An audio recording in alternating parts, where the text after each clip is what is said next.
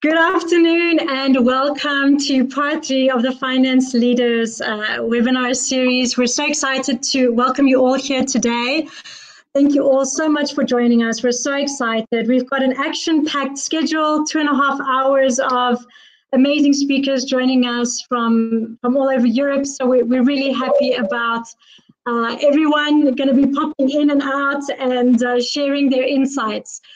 So uh, I'd like to take a moment on behalf of QUBE and just I'd like to thank very much our uh, um, CFO ICPAC committee. I will be introducing you to Stavros uh, shortly, who will be saying a few words uh, on behalf of uh, the CFO committee. It's been an amazing collaboration with them, and we're so pleased to, to, to have had a chance to build and develop this amazing uh, model. And uh, we've uh, managed over the past uh, four months to build uh, an amazing ecosystem of three and a half thousand uh, finance professionals in and around Cyprus and Europe, which has been incredible.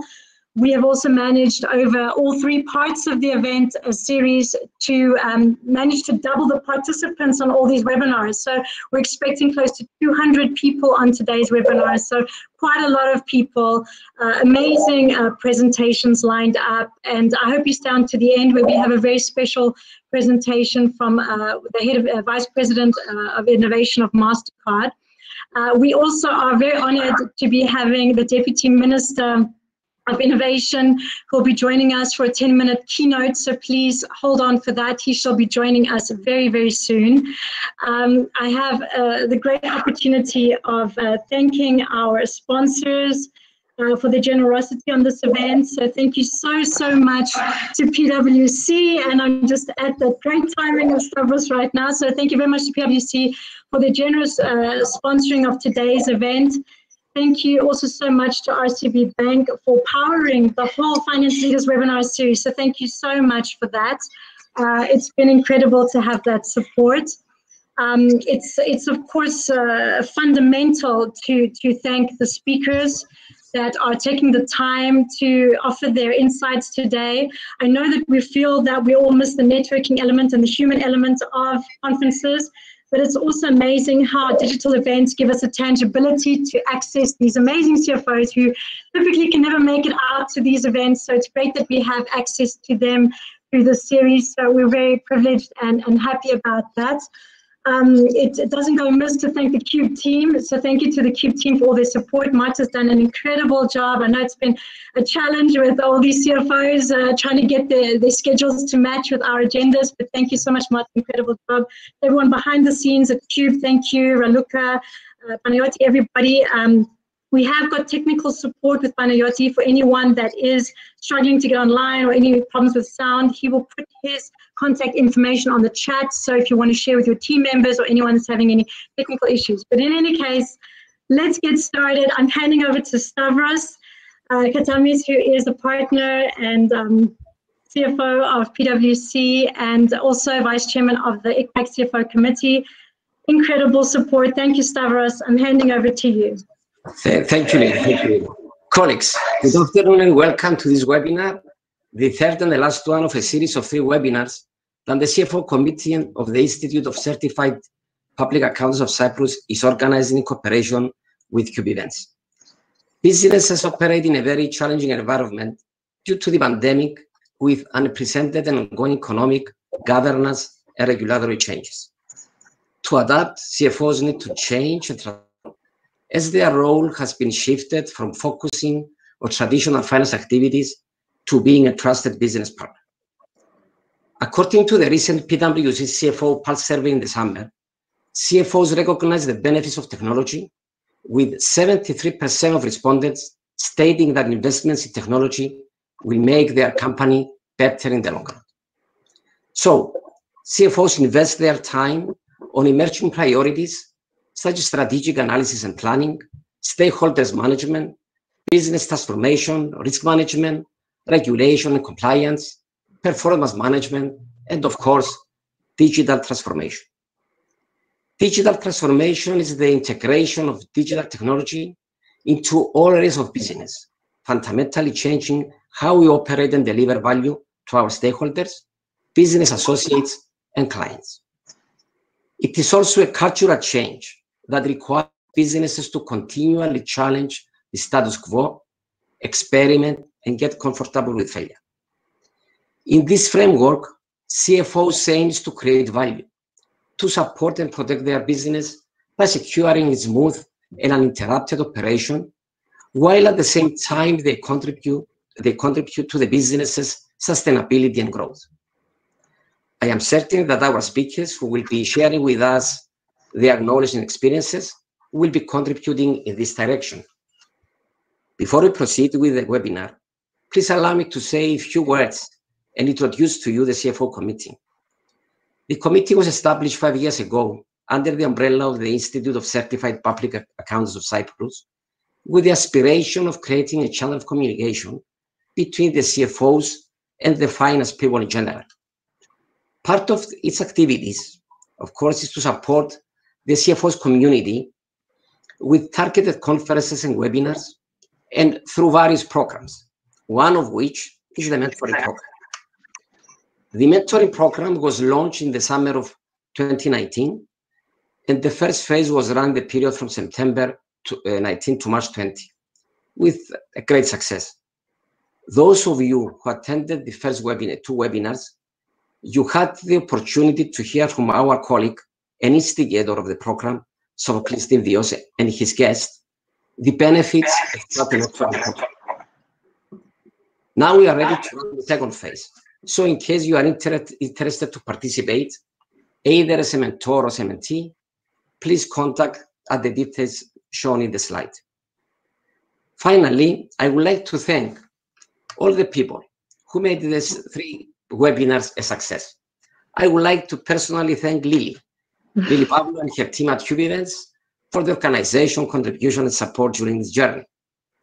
Of course, all the sponsors, contributors, and supporters. All the speakers for sharing their knowledge and experiences with us.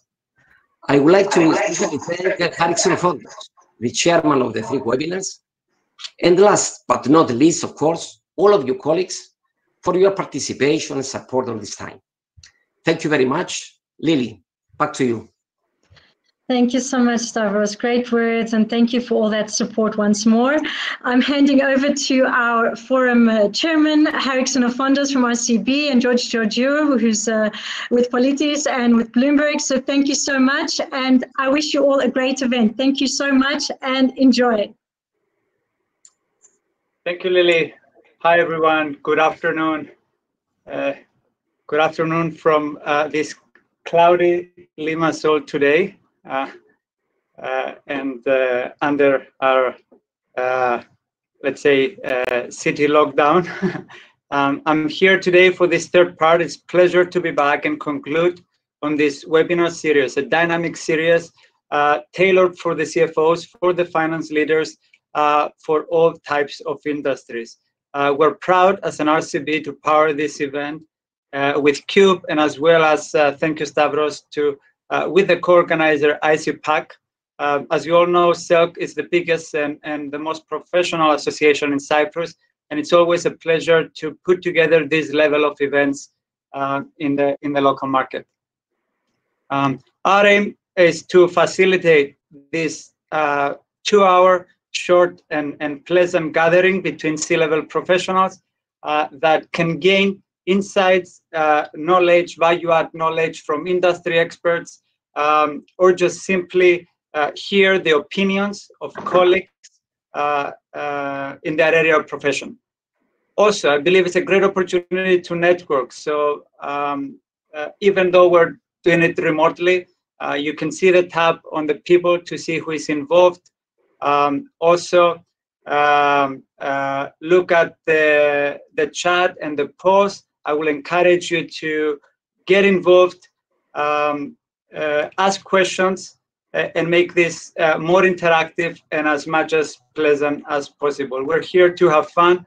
Uh, we're here to relax a bit from our hectic, you know, daily schedules. And I'm, I'm sure that uh, you're all extremely busy and you rarely find some relaxing times. And, and I hope you get a lot of insight as well. Um, going back to the starting from the from the first webinar, uh, so we started with leading the future, which had a focus on the financial leadership and the role of the evolving CFO, uh, as well as the importance of business partnering. Um, so leading the financial strategy. So this was part one that uh, slowly uh, giving us the uh, opportunity to move into part two, which is driving performance. Uh, this was interesting to see how it was linked, uh, basically because you know the strategy and the partnering, as well as you know the the role of the CFO is what helps the performance, you know, the, the, the, the, return of investment, maximizing the return of investment, as well as the utilization of uh, digitalization. And, and finally, we're here today uh, naturally moving into the digital transformation, which is the third part and probably the, the most interesting or the most, let's say, relevant or hot topic uh, uh at the time uh, for CFOs, for financial leaders, and uh, let's hear it from the experts. Uh, definitely, we have an esteemed lineup of speakers, and we're excited to to hear from from the panelists um, as well as uh, the experts about the trends, the innovation in finance, data-driven insights, uh, as well as the importance of digitalization. So uh, we can go ahead and start with our esteemed keynote speaker, Kyriakos Kokkinos, uh, the Deputy Minister to the President for Research, Innovation and Digital Policy of the Republic of Cyprus. Um, Kyriakos is a veteran IBM Europe executive uh, with a vast background in the field. Um, I'm sure you all have seen um, uh, the progress already and, and positive impact he's been making with the, uh, the e-government uh, and actually, I also had the experience with RCB Bank to partner with uh, Kyriakos and, and his sub ministry to um, uh, work with Ariadne and the CY login and give the opportunity for citizens to uh, identify, verify their identification on the platform using uh, their internet banking credentials, uh, utilizing the the bank's open banking APIs. So uh, um, we're looking forward to hear of a lot more uh, uh, projects and initiatives from from the sub minister, and and let's hear it from Kyriakos into unlocking the digital future. Uh, thank you, Harry. Thank you all for inviting me to address this uh, esteemed audience uh, and a community of professionals in the finance profession. It's quite interesting um, that um, this seminar it's primarily addressed uh, the audience is in the finance profession and uh, I enjoyed what uh, Stavros said at the beginning and during the introduction that what is the new role of the uh, finance uh, uh, of the CFO it's a value creator. Uh, it's not just the accounting or the financial assets of, of the organization that uh, he or she has to to address, uh, but also uh, is uh, all about the the human capital. That's very important, uh, as well as the data, a new form of capital and it's extremely important to understand that data is probably the most important asset uh, to uh, to learn uh, as a new topic uh, to address. But let's start from the beginning. We are living in very, very different and interesting times, challenging times. The topic of digitalization, it's actually not a technological uh, challenge. It has to do with our global challenges like the aging of population or the shifting of economic power. You see the figurehead uh, in, in, in, in, in the, the silhouette in this, on this slide. It has to do about the, the the confrontation between East and West, between China and the Western uh, world, uh, the, the mobility of, civil, of, of people between countries, between geographies, the immigration problem, the climate change, and above all, now the pandemic. So these are the problems that technology and digitalization is uh, geared to address. And now I want to present to you uh, if Cyprus is indeed uh, in a position to to play this uh, this role and, and address this. This is the Digital Economy and Society Index. It's an annual um, uh, exercise or uh, um, and benchmarking of all European economies. And we see that, and, and, and this DESI index, as it is called, uh, Digital Economy and Society Index, uh, has five very specific pillars, connectivity, human capital, use of internet, integration of digital technology and digital public services. And as you can see from this slide, uh, Cyprus uh, is not uh, high on, on, on the ranking. It's um, our ranking is uh, 23, 24 out of the 27 uh, European Union countries. And um, going to the next slide, you will see that, uh, and, and, and there is an agreement between this slide and the previous one, that our biggest challenge in Cyprus is talent management, is our talent pool in terms of, this is the Digital Competitiveness Index from IMD. Our overall ranking this year is 40 out of 63 countries. Uh, last year, our ranking was 54. So we improved on a number of aspects, but we still have a long way to go. And the reason, uh, the, our primary focus, uh, I'm sorry, the primary attribute for this improvement is because of our attitude and appetite to go through this digital journey transformation through the creation of the new ministry that uh, I am honored to lead, as well as through the way that Cyprus has been uh, uh, addressing the challenges uh, of COVID in in the first lockdown, March, April, and until June, when this publication was published.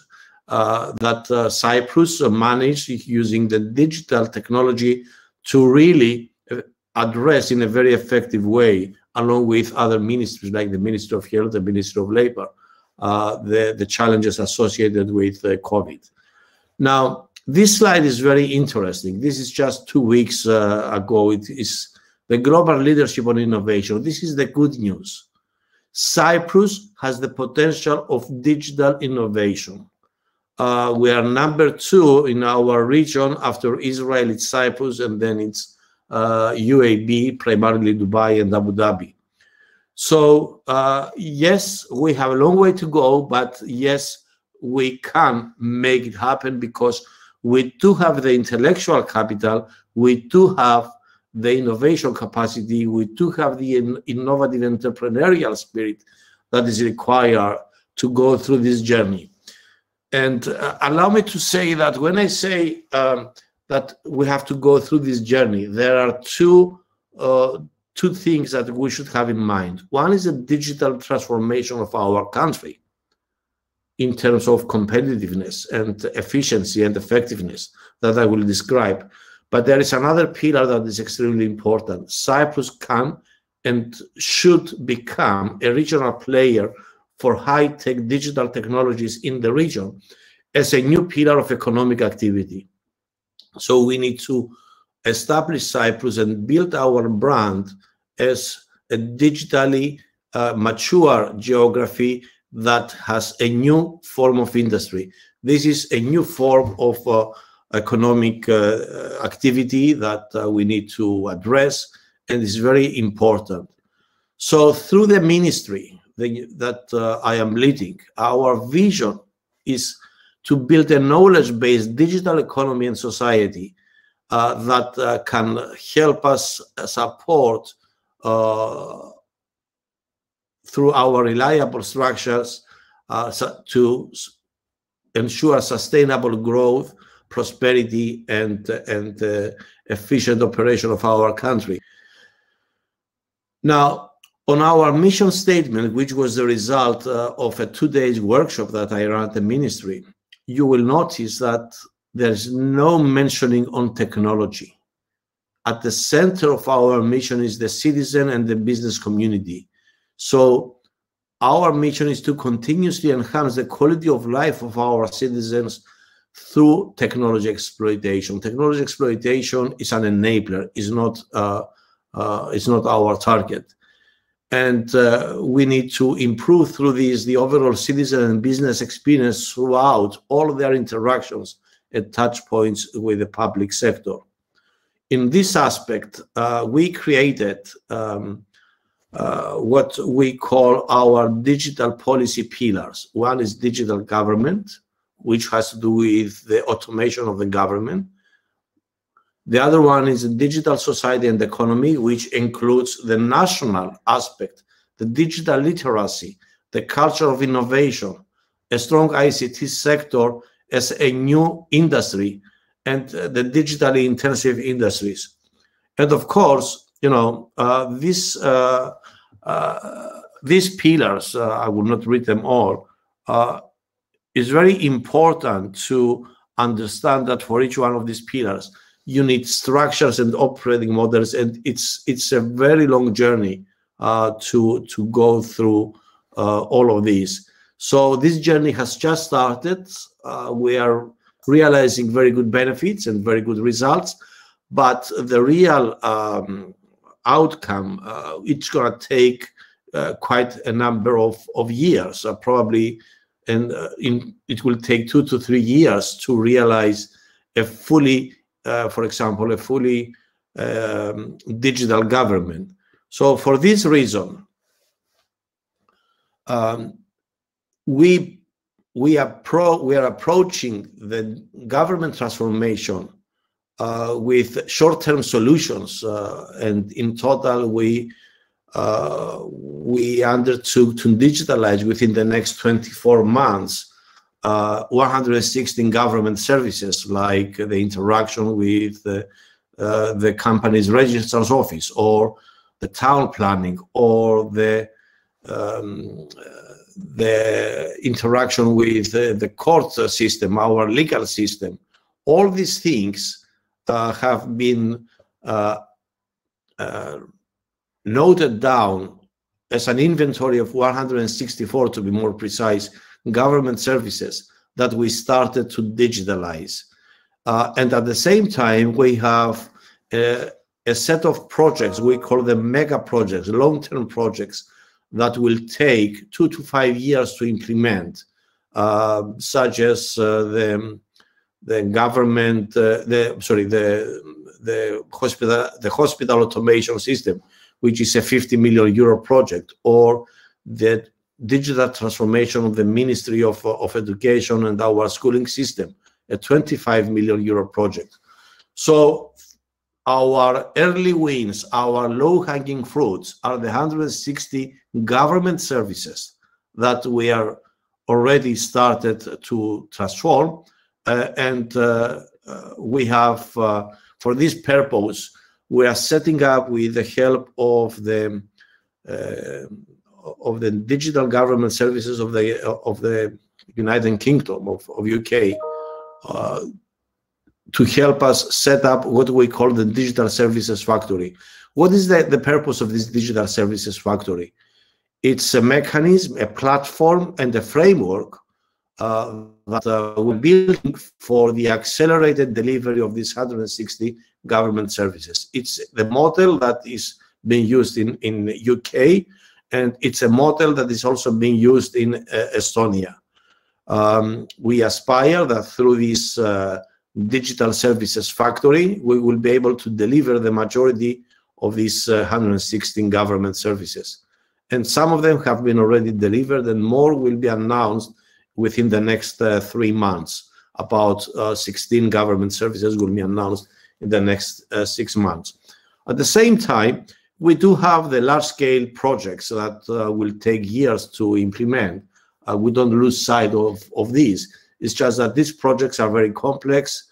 and very um, sorry, I don't know why this has been lost. Okay, uh, so uh, the justice system, which is uh, a two-year project, the health national system, it's a five-year project, the school management system, it's a three-year project.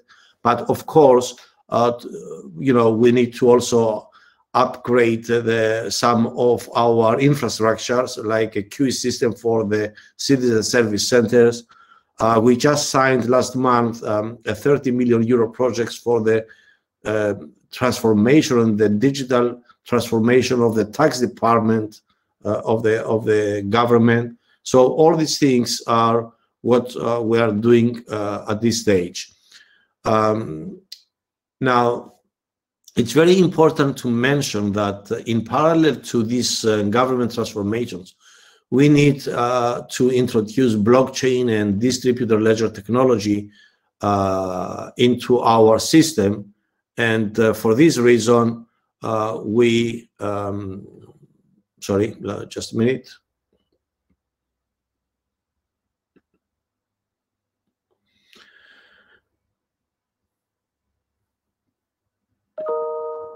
Just a minute, something is. Uh,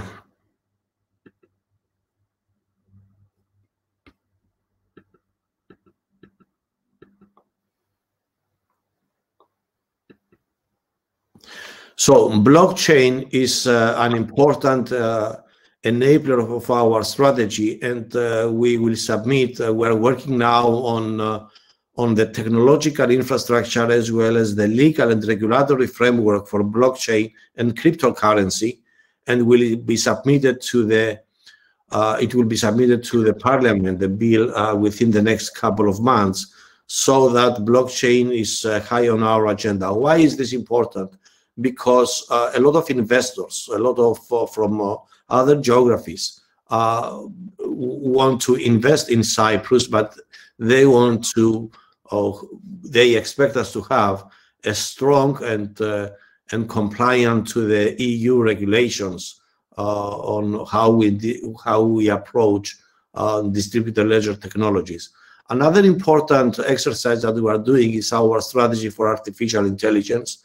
Uh, we are currently um, um, working on our AI strategy, and this is extremely important for developing an ethical and reliable artificial intelligence framework.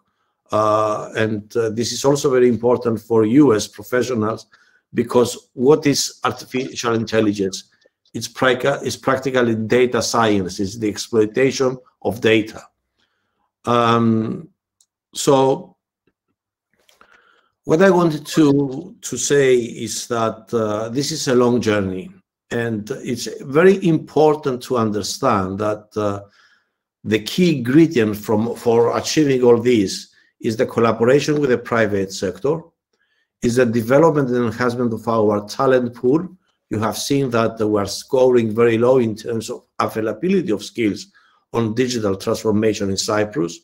And uh, we're working at the moment for uh, short and long-term interventions.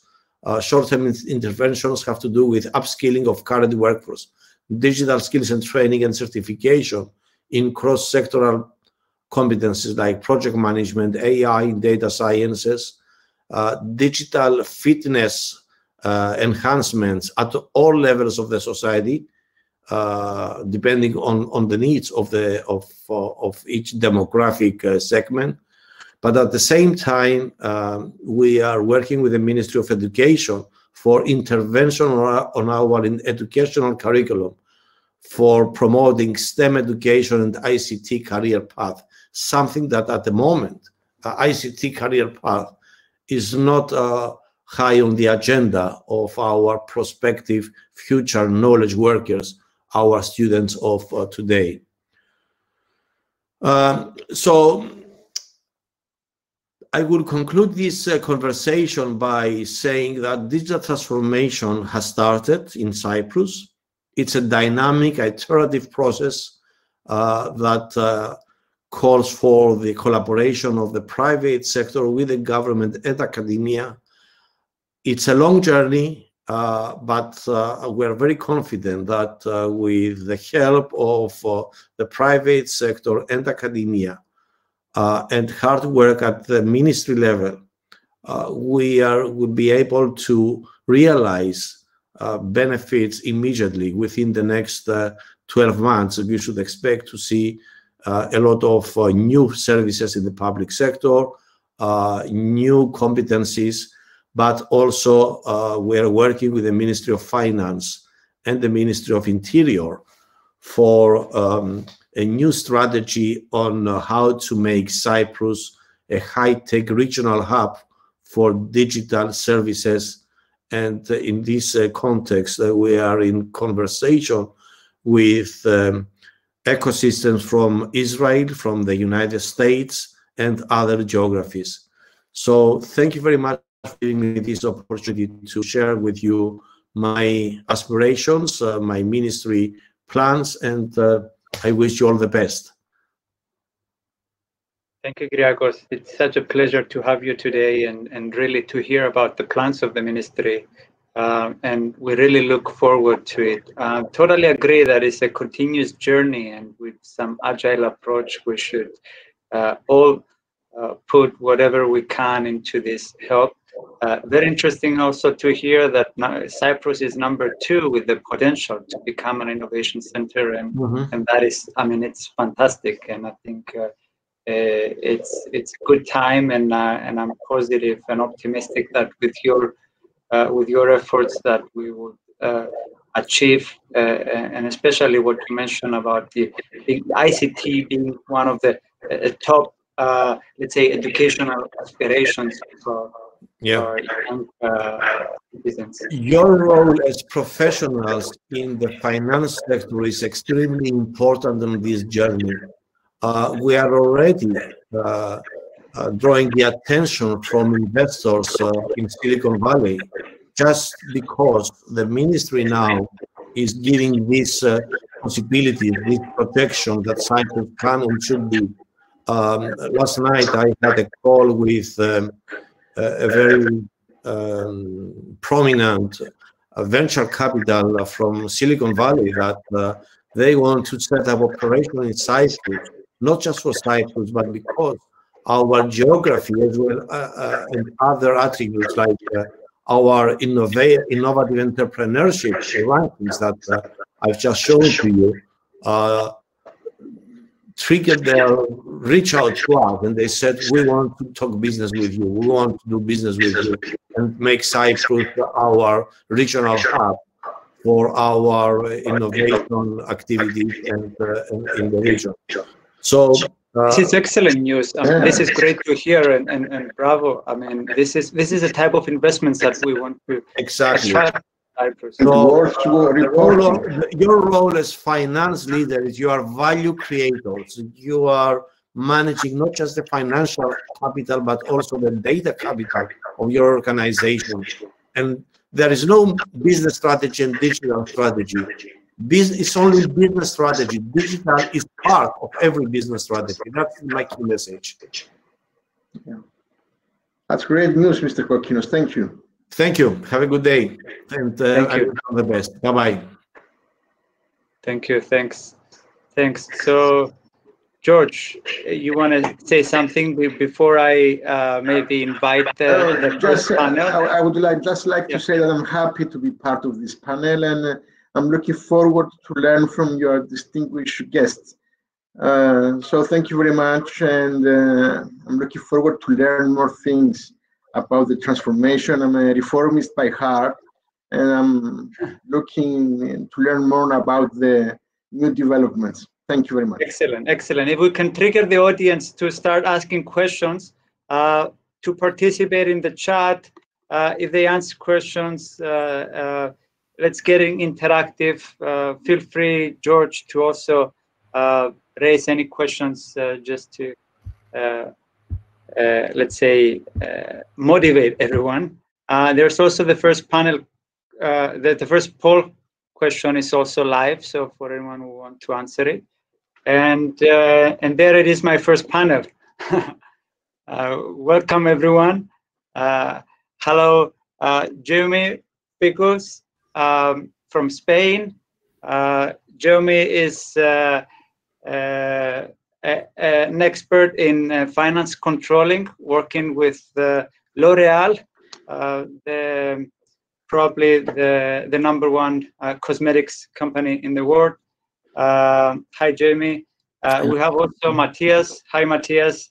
Matthias Hello, Weber is joining us from Germany.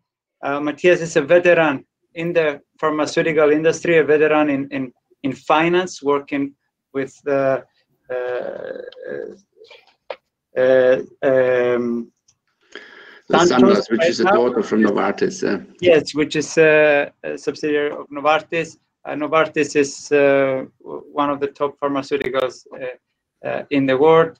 Uh, and we'll hear some interesting things about Matthias, his involvement in AI, and so on. Farouk, welcome.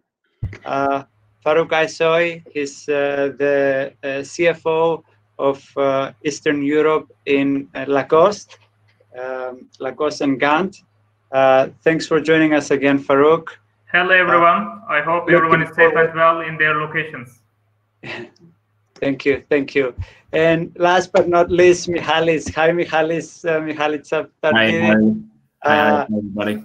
Uh, financial uh, uh, group finance operations manager in Google. Um, he's based in uh, Ireland, but he's handling uh, multiple regions, including you know Europe, uh, US, and um, if I'm forgetting something, just no, in EMEA, EMEA, Latin America. EMEA, Latin America. Okay, very good, very good. So thanks for joining us again. Thank you. So uh, today's topic, as as you all see in the agenda, basically in this panel, is to uh, start off this what what would is our scope basically you know the digital transformation in finance because uh, there's digital transformation in many things but let's let's start by defining i mean uh, what is it for for our finance leaders what is it for for our cfos um, um, Mihaly, you want to start Yes, I can definitely do that. And again, hello everybody, and thank you for the invitation. So, um, like in this journey of digital transformation, like uh, similar to what the, the deputy minister said before, like we have to think that the CFOs are not typical controllers anymore, right? We are really change leads, and we have to, as the connective tissue between the different departments within the company, as change we need to pretty much being able to bring all those departments together and digitally transform them to be able to make a, a, a very fast and like growing uh, company and the companies of the future, right? So if I would just narrow it down in four things, in very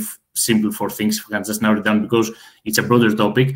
The four things that would come to mind uh, for digital transformation that would be super important would be automation, visualization, predictive modeling and analytics, and the most important of all is empowering employees.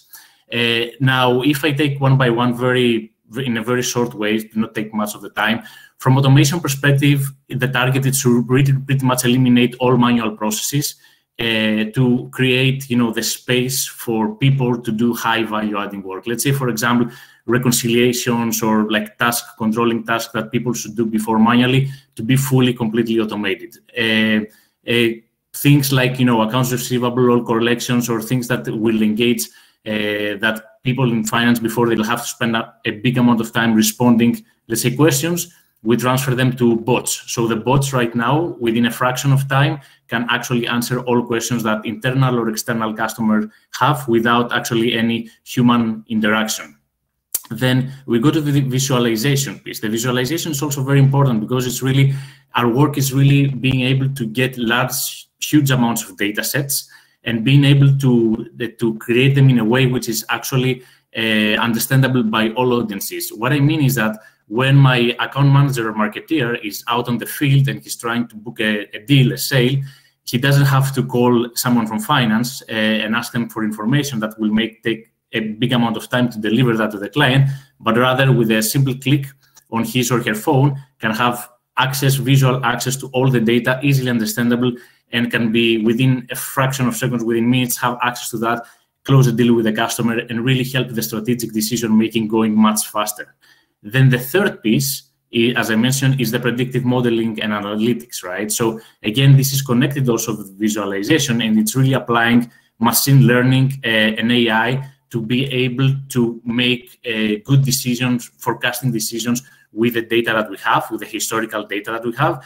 And that also is connected with the last piece, with the empowering employees piece. And what I say that is that because to be able to develop technologies like that, our skill sets in finance needs to completely change moving forward, right? So an accountant like an ACCA or a CPA is not sufficient anymore for this job. Like we have to have skills like being able to, let's say, run SQL, uh, write programming languages in R or Python, because all these things, all this computer programming knowledge will be able to help you build the algorithms that can use the predictive modeling and be able to deliver the digital transformation that you know it's it's needed.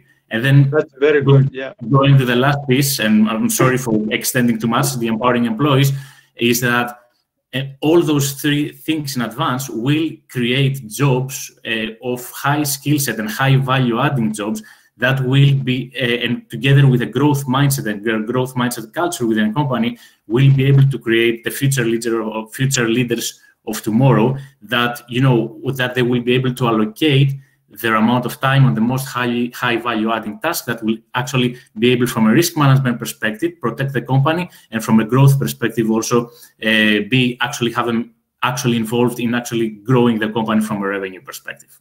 Definitely empowering employees. It's it's one of the you know most important and, and, and thank you michalis and actually fits the, the the the fact you said that you know financial leaders need to have in their teams you know technical knowledge. It fits also to what the deputy minister said about you know ICT in our education, and, and, and thank you for that. Uh, moving to Matthias, Matthias is is coming also. I mean, before he he, he joined Novartis, he, he was uh, in in banking and finance as well. Uh, but uh, when we talk about digital transformation in finance, of course, we're not talking about uh, the banking or the financial services industry. Uh, what what are your views, Matthias, in in in um, in in the audience today for being CFOs or being you know leaders in all these other industries. I mean, now you're in pharmaceutical. How do you see transformation in the finance uh, of the company? You know, in, the, in in financial controlling the company. Mm-hmm. Yeah, thank you, Harry, and uh, uh, happy to be here. Good afternoon to everybody.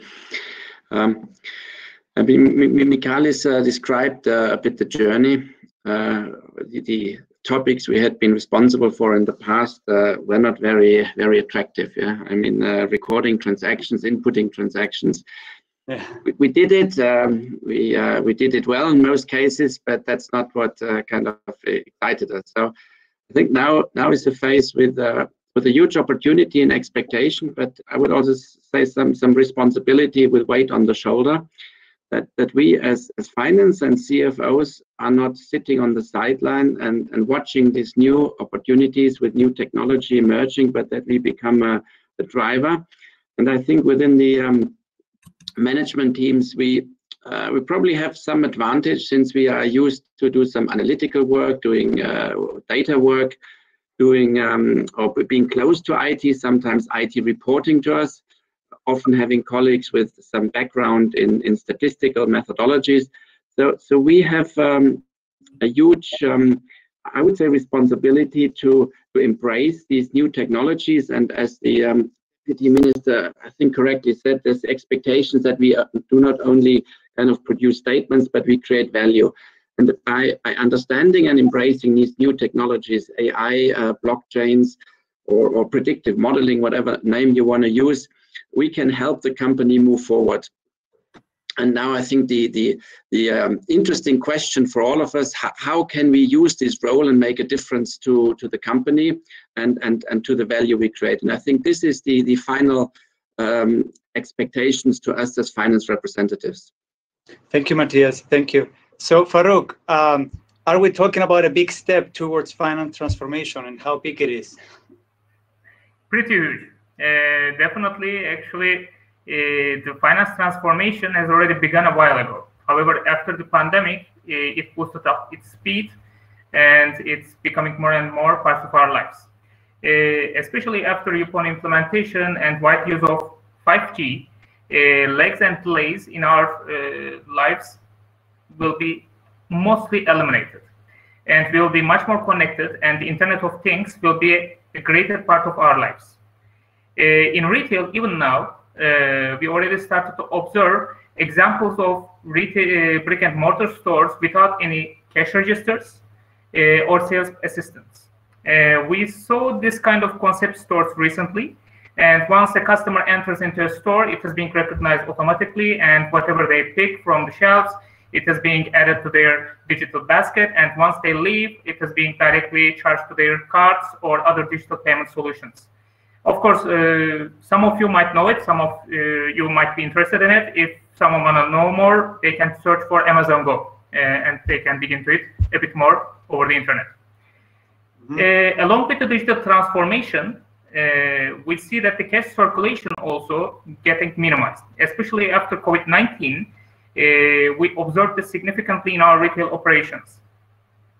we are we are observing it from our cash transactions recognized or realized in our physical stores, as well as cash on delivery requests in our websites. Uh, without any physical circulation of the cash, we are turning into cashless economies and societies. Uh, a few countries are already ready uh, for this transition, like Sweden, Finland, or Australia. They are almost 100% ready for the cashless economy. And many so, how, how is the cashless economy impacting? Sorry if I interrupted. So how is the cashless economy impacting the finance operations or the or the, the finance controlling? I mean, is it uh, i mean I, I, can i can say it's a great value of it but uh, um, how is that going to to change or is there a change already uh, uh there are already as i mentioned in our countries it is not 100% cashless yet but in some of the countries they are almost turning into 100% if you ever visited sweden for instance you can observe it easily uh, how it is impacting is first of all the visibility and traceability of the cash flow is okay. much more easier. Uh, also from the government side, they are able to watch all the movements and trace them easier as well. And in addition to that, also it will be the uh, in some sections it will be lesser cost because you don't need to count the cash or cash collection or etc. in the stores. Of course. And of and course. you can also transform yourself into more digital. As I mentioned just a moment ago, there are examples of, for example, a fully digital, almost with the payment solutions uh, examples of the brick and mortar stores. And uh, this can be a bridge to it as well, because if you don't need Excellent. to transact any cash, you can also turn into fully digital brick and mortar stores. This Thank you, Paris. And I'll come back to you. Thank you on this. Um, Jeremy, um, we've heard from Michalis, who is coming from Google, what are the, you know, some of the digital tools or, or the, the key pillars. But what about, I mean, from from your point of view, I mean, from let's say uh, manufacturing and and uh, retail and and your and your area. Can you take us through like, the latest technologies or digital technologies or or digital strategies that you've been using? Uh, can you share some of your experience into this? Yes, sure. First of all, I think that I, I, hope that you are well, and thank you for the invitation. So I was now leading at uh, at the poll that was launched. What is the top priority in digitalization? and I see that it's, it talks a lot about uh, automation and data. And uh, from what I've experienced, this journey from manufacturing side started already five, six years ago. Uh, the first top idea is still not on how we transform our finance teams, but from a management perspective on simplifying and harmonizing the systems that we work with. So every day, uh, the number of data that we are receiving from our stakeholders is increasing and increasing. And the mistake that we used to make was to work with more tools that were not uh, integrated and coherent uh, one with the other ones. So the first big decision, the most improvement that I think we need to make is to choose one ERP system and one financial planning tool. And that's the uh, basis and that's where we started working from. And from here on, we started uh, simplifying and automatizing all the all the processes, systems, and data that we could, so that we started uh, decreasing the number of days that we were taking to to have a month-end closing. We decreased and harmonized the number of trends that we are doing from on a on, on a yearly basis, and uh, that all is helping to really harmonize with our CEOs on having real-time data to make the best decision possible, but having only one language uh, and one way to look at the same data. And I think that this digitalization that is not a project, it's a, it's a change management. It all starts from here.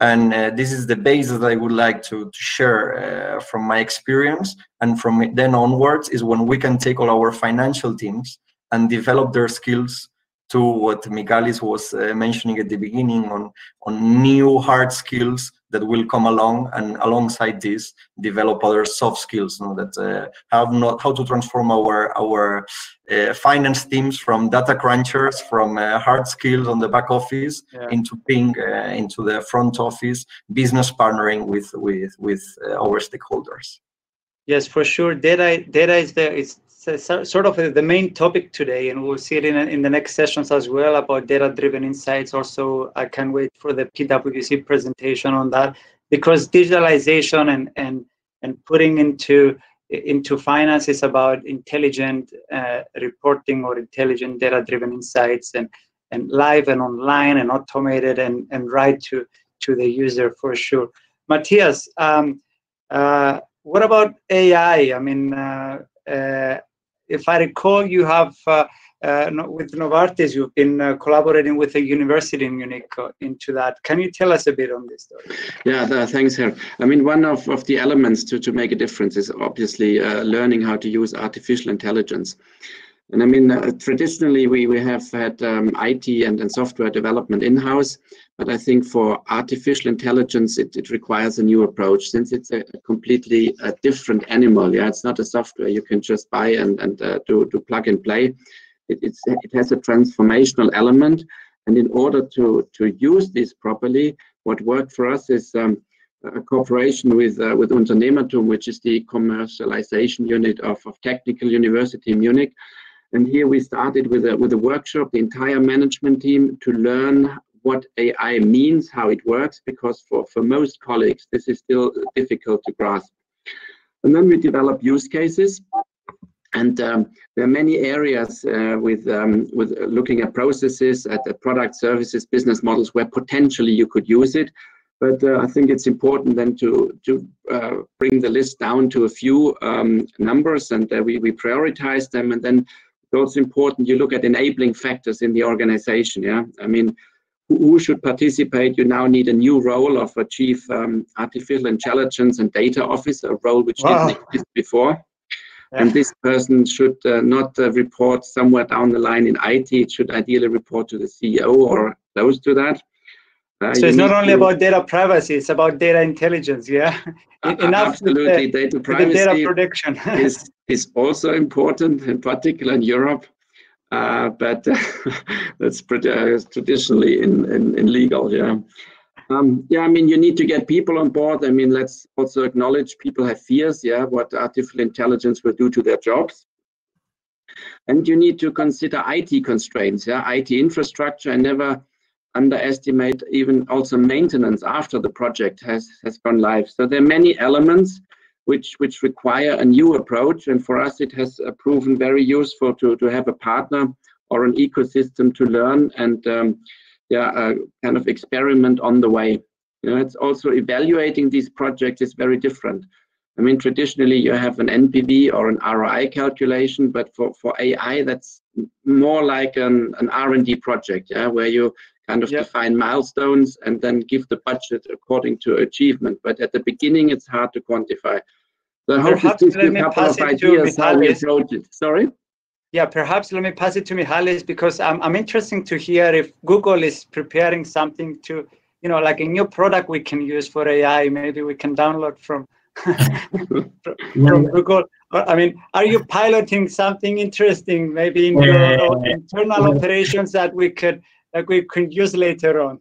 Well i mean there are definitely things which are already public right? So and i mean the the private one you know the ones the non-public ones i don't even know them myself. So uh, the, the ones under r&d but i would say like um, to build on Matthias' point on AI and machine learning, because this is super important, it's going to be super important for our jobs moving forward. Is that I think you know from our perspective, because part of our products, except like the like the ads piece, a very big part of our products is it's actually selling digital transformation through the cloud platform, right? So because to be able for a company to achieve a digital transformation, it has to be on a cloud-based, let's say, infrastructure rather than in the typical on-premises infrastructure to be able to achieve the scalability uh, of the of big transformation. So within the cloud environment, there are tools. Uh, let's say, for example, that it not only Google but most of the tech companies have, like you know, like the big queries or like you know some machine learning module or AI module, we, or robotic process automations that many of the companies can use, uh, and they're not like super high tech or they need super high hard skills to do it, but they are tailored in a way depending on your, let's say, proficiency to be able to use them and drive value, not just from a finance perspective, but overall from a from a total business perspective, right? Because, for example, we use, let's say, the modeling, the predictive modeling for AI and machine learning in finance, but for example, very importantly for Matthias' area, where it's pharmaceuticals, like a healthcare company or a healthcare institution could be able to predict with the right AI the next pandemic, let's say, or the time that when that may happen, right? So there are many important tools in there uh, which are, uh, you know, available to, across companies, but it has to be on a cloud infrastructure base, so a digitally, what we really call a digitally, digitally, digitally transformed company to be able to have the scalability and those, you know, aim on your hands to be able to deliver these results. Thank you, Michalis. Thank you also to wrap it up. I mean, definitely digital transformation in the finance function, it is an opportunity for business growth. I mean, there are tools and technologies that can be utilized and should be utilized. I mean, to, to help uh, growing the, you know, the business strategy uh, for sure. Thank you all for your time. Thanks uh, for for a great panel, and uh, and see you soon. Thank you. Thank you. Bye. Thanks. Thank you as well. Bye bye for now. Bye bye. So, running.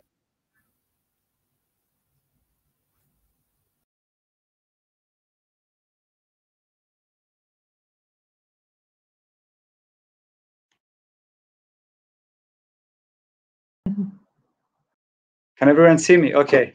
Yeah. All right. So, so looking at the time and uh, and moving on really fast with our next uh, part of the agenda, uh, we have Cristina Orfanidou if she can join. Oh, hi, Cristina.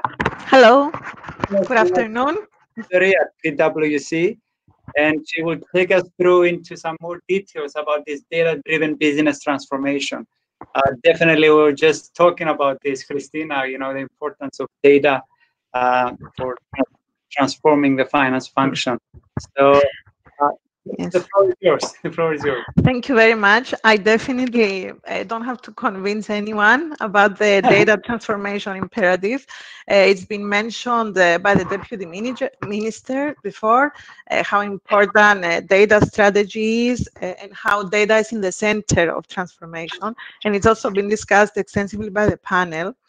Uh, so um, um, what I'm here to do now is to share uh, some of my own experiences and insights uh, from working on helping organizations uh, transform and become data driven. And these um, experiences I will share are based on work that we are doing here in Cyprus, but also PwC experiences globally. So, um, um, as I've already said, everybody knows uh, how important data is uh, in the whole uh, business transformation uh, journey of an organization. And we now uh, we are now experiencing the big data gold rush. So we are not only looking at internal data organizations, but we now have this big ocean of data available to us, external, that uh, organizations can leverage in order to improve the way they work. So uh, just some uh, quick numbers uh, to reflect better on this big data gold rush. Um, 1.7 megabytes of new information is created every second for every human being on the planet. And probably by the time I started saying this sentence, this number has already changed. Um, there are now more than 50 billion smart connected devices in the world, all developed to collect, analyze, and share data. And a third of this data now passes uh, through the cloud. And Michalis touched upon this in the previous panel, that this creates the opportunity for scalability of uh, data applications and machine learning applications. Um, the additional net income projected that will result from just a 10% increase in data accessibility for a typical Fortune 1000 company is estimated at $65 million. Uh, and also 50% of all business analytics software will in the near future incorporate prescriptive analytics built uh, on cognitive computing functionalities. So um, the world is, uh, is moving ahead in a very fast pace. And the industries that are driving most of this uh, growth and are uh, enabling this proliferation of data are banking and financial services in general, manufacturing, uh, which Jean uh, mentioned before, government, and uh, personal services. So the most important part of this transformation is not the data itself, but is the strong emergence of analytics that can now support uh, modern enterprises uh, to move from a process-centric viewpoint to a data-centric viewpoint. So uh, moving from merely using descriptive analytics to see what is going on into predictive modeling, smarter analysis, and into becoming what we call real-time enterprises so that um, the real information is delivered to the right person at the right time. And obviously we all hear uh, the buzzwords and we we hear about big data and ai and impressive models and impressive infrastructures. And um, this is obviously very important and predictive accuracy is very important for all of these to work. But it um, the data driven enterprise unfortunately it's still at its infancy. And the reason is because it is now being understood that the biggest challenge is not about having the most data or having the best tools or the best infrastructure. It's about um, being able to transform your organization's ability to use these insights and transform them into actions and outcomes. And this was also touched upon uh, in the panel just before. So it's not about having the tools and having the machine learning and AI, but it's how you interpret it. And this goes beyond uh, the technology. It becomes a business and people issue. So um, PwC's annual CEO survey, which uh, captures uh, the views of uh, thousands of C-suite leaders and executives globally, as they grapple with the uh, challenges that are facing their organizations, uh, show that the um, CEOs are sold on the power of data and analytics to deliver insights into key questions that they want to answer. They want to be data driven, but they acknowledge that there is a lot more to do. Two thirds, 61%, um, say that their own company's decision making is still uh, ma uh, mainly based on human judgment rather than machine algorithms. At the same time, 29% say that the companies already have predictive analytics capabilities. So they are shifting towards the right direction. So most companies are still on the cusp of change. They are aware of like all this power that analytics can offer, but they are still clinging to a status quo that relies on decision, a decision culture that is still based on, on intuition and experience. So what are these challenges that we have identified as holding back organizations? And we see this in our everyday working life.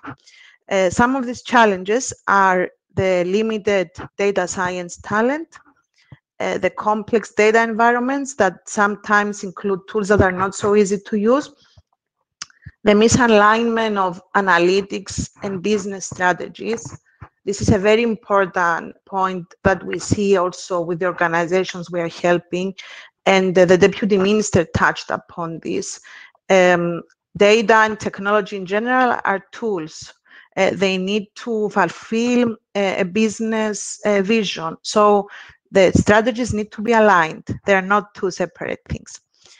Um, the other one other challenge faced is the lack of data-driven decision-making culture. That was also mentioned before. And on a technical level, again, the lack of proper governance uh, processes within the organization. And in fact, um, it's very interesting because it looks like uh, the past year, or the current year, I should say, we are still on in 2020, uh, has been the year of the reality check for many organizations and for laying the groundwork for a more realistic data and AI powered future. So uh, PwC's AI prediction survey has showed that for 2020, only 4% of executives uh, had plans to deploy AI enterprise-wide. The year before, in 2019, that was 20%. So it actually went down. From uh, my own experience in, uh, in my work in the data and AI lab in PwC and working with clients to develop analytics, AI, and automation strategies, uh, the, the shift, I, I can say that the shift comes from the realization of executives for the need to focus on fundamentals before enlarging analytics and more ambitious AI projects. Uh, so in the next few minutes, I will, I will describe to you what I believe are the priorities that organizations need to have so that they can take their organizations to the next step in their data transformation. So the first priority is to go back to boring stuff. What, what do I mean with this? Is that uh, to get serious return on investment from analytics and AI, it's better to start by deploying it in key in-house functions and while at the same time laying the groundwork for a, more exciting transformation to come in the future. So I believe that in the near future, a lot of the AI excitement will come from results that may sound quite uh, mundane at the moment. So from incremental productivity gains of in-house processes. And indeed, in uh, PwC's AI prediction uh, survey, it looks like 44% of executives cited operating more efficiently and 42% cited increased productivity among the top three benefits expected from AI investments. So there is a realization that you need to start slow and in-house and this is how you will lay the correct groundwork for the more exciting and ambitious endeavors in the future. So what is the best way to approach it? First and foremost you need to be strategic. So you need to start by identifying the business needs and building the capabilities around them. The second is to get organized. So uh, the best way forward is to create a centralized oversight that covers the entire uh, chain of data analytics and automation within an organization. And this is something that can be achieved through uh, proper data governance mechanisms, for example. And last but not least is to set the metrics. So to create enterprise-wide KPIs that include uh, measures of efficiency, effectiveness, and disruption of existing business processes so that you can uh, know and assess uh, how this transformation is developing. So the second priority is to rethink upskilling. And I think uh, we can all admit that uh, upskilling is the mantra of the time now. We keep hearing about upskilling. But if we approach upskilling as just technical training for non-technical people, uh, then we are probably doing it wrong. The trick is uh, for the transformation of the people, for the transformation of the organization to become what we call citizen-led and multilingual.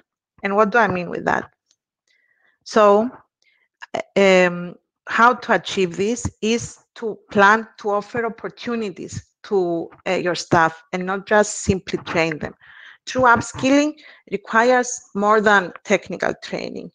Uh, we can see also from the PwC survey that 50% of respondents recognize that uh, to truly upskill your staff and create the right culture, you need to give them immediate opportunities and incentives to apply these skills um, in the best way so that they develop their skills and also see the result of this uh, change. And by doing this in an applied way, it will also help create within your organization a digital, data, and AI enabled mindset, and thus create this citizen led culture. that will focus on lifelong learning and cross-functional ways of working and solving problems. And this uh, last word I use, the cross-functional, is what I also mean when I say set a multilingual target. Companies require cross-skilling. So we need specialists in one area, for example, the data scientist, to also have enough basic skills in other areas, such as the business, so that they can speak each other's language. This cross-skilling is critical, not just to solve the data-related challenges, but also for the data scientists to be able to identify themselves which problems data and AI can solve within our organization. The third priority is uh, the issue of integrating analytics and AI into an organization's operation. To get true benefits of data and AI, business leaders need to put analytics and AI to work 24 7 as part of operational systems that work across functions and business units. AI in particular does not work in silos when it's isolated from other technologies. And um, mostly because AI needs data. And the more good quality data AI gets from various sources, uh, the more power it gets and the more effective the results are. And secondly, some of AI's most valuable uses come when it works 24 7 as part of a broader operational system. For example, within finance, as we discussed before, or within marketing. And indeed, if we see um, what CEOs consider to be their biggest data related issues in their organizations or what they have been for 2020, they are all related to integration. None are related to technologies um, or accuracy. They're all related to integration. So identifying, collecting, or aggregating data across the organization, integrating AI and analytics to get business insight, or integrating data from IoT so that it can be used for AI. And my tips for how to do it is firstly to embed analytics and AI into your overall IT stack. That means incorporate the relevant models that are responsible for automation or key decisions into production systems that you already have in your organization. The second is to develop what we call machine learning operations, which combines expertise in data science with software engineering and IT operations. And last but not least, very important is to make your data trustworthy. So to become data and AI enabled, you need data that is not just accurate, but that is also standardized, labeled, complete, free of bias, and compliant with uh, regulations and security standards. The last priority is reinventing your business model. So if your business is currently built only on uh, human and physical assets, you need a new model that integrates data as well as possibly AI's cognitive assets, if this is relevant. And that uh, works in AI tie. So getting the technology right is definitely not simple. And I know that because I am an, a person that works on developing AI. So um, it's hard. But actually, that's the easy part. The top challenges that CEOs recognize um, around developing their data and AI capabilities are around business and around people. So, measuring return on investment, getting a budget approved, training current employees to use AI, and making the business case. And indeed, these are challenges that we have seen that are being faced on a daily basis by organizations that want to take the next step forward.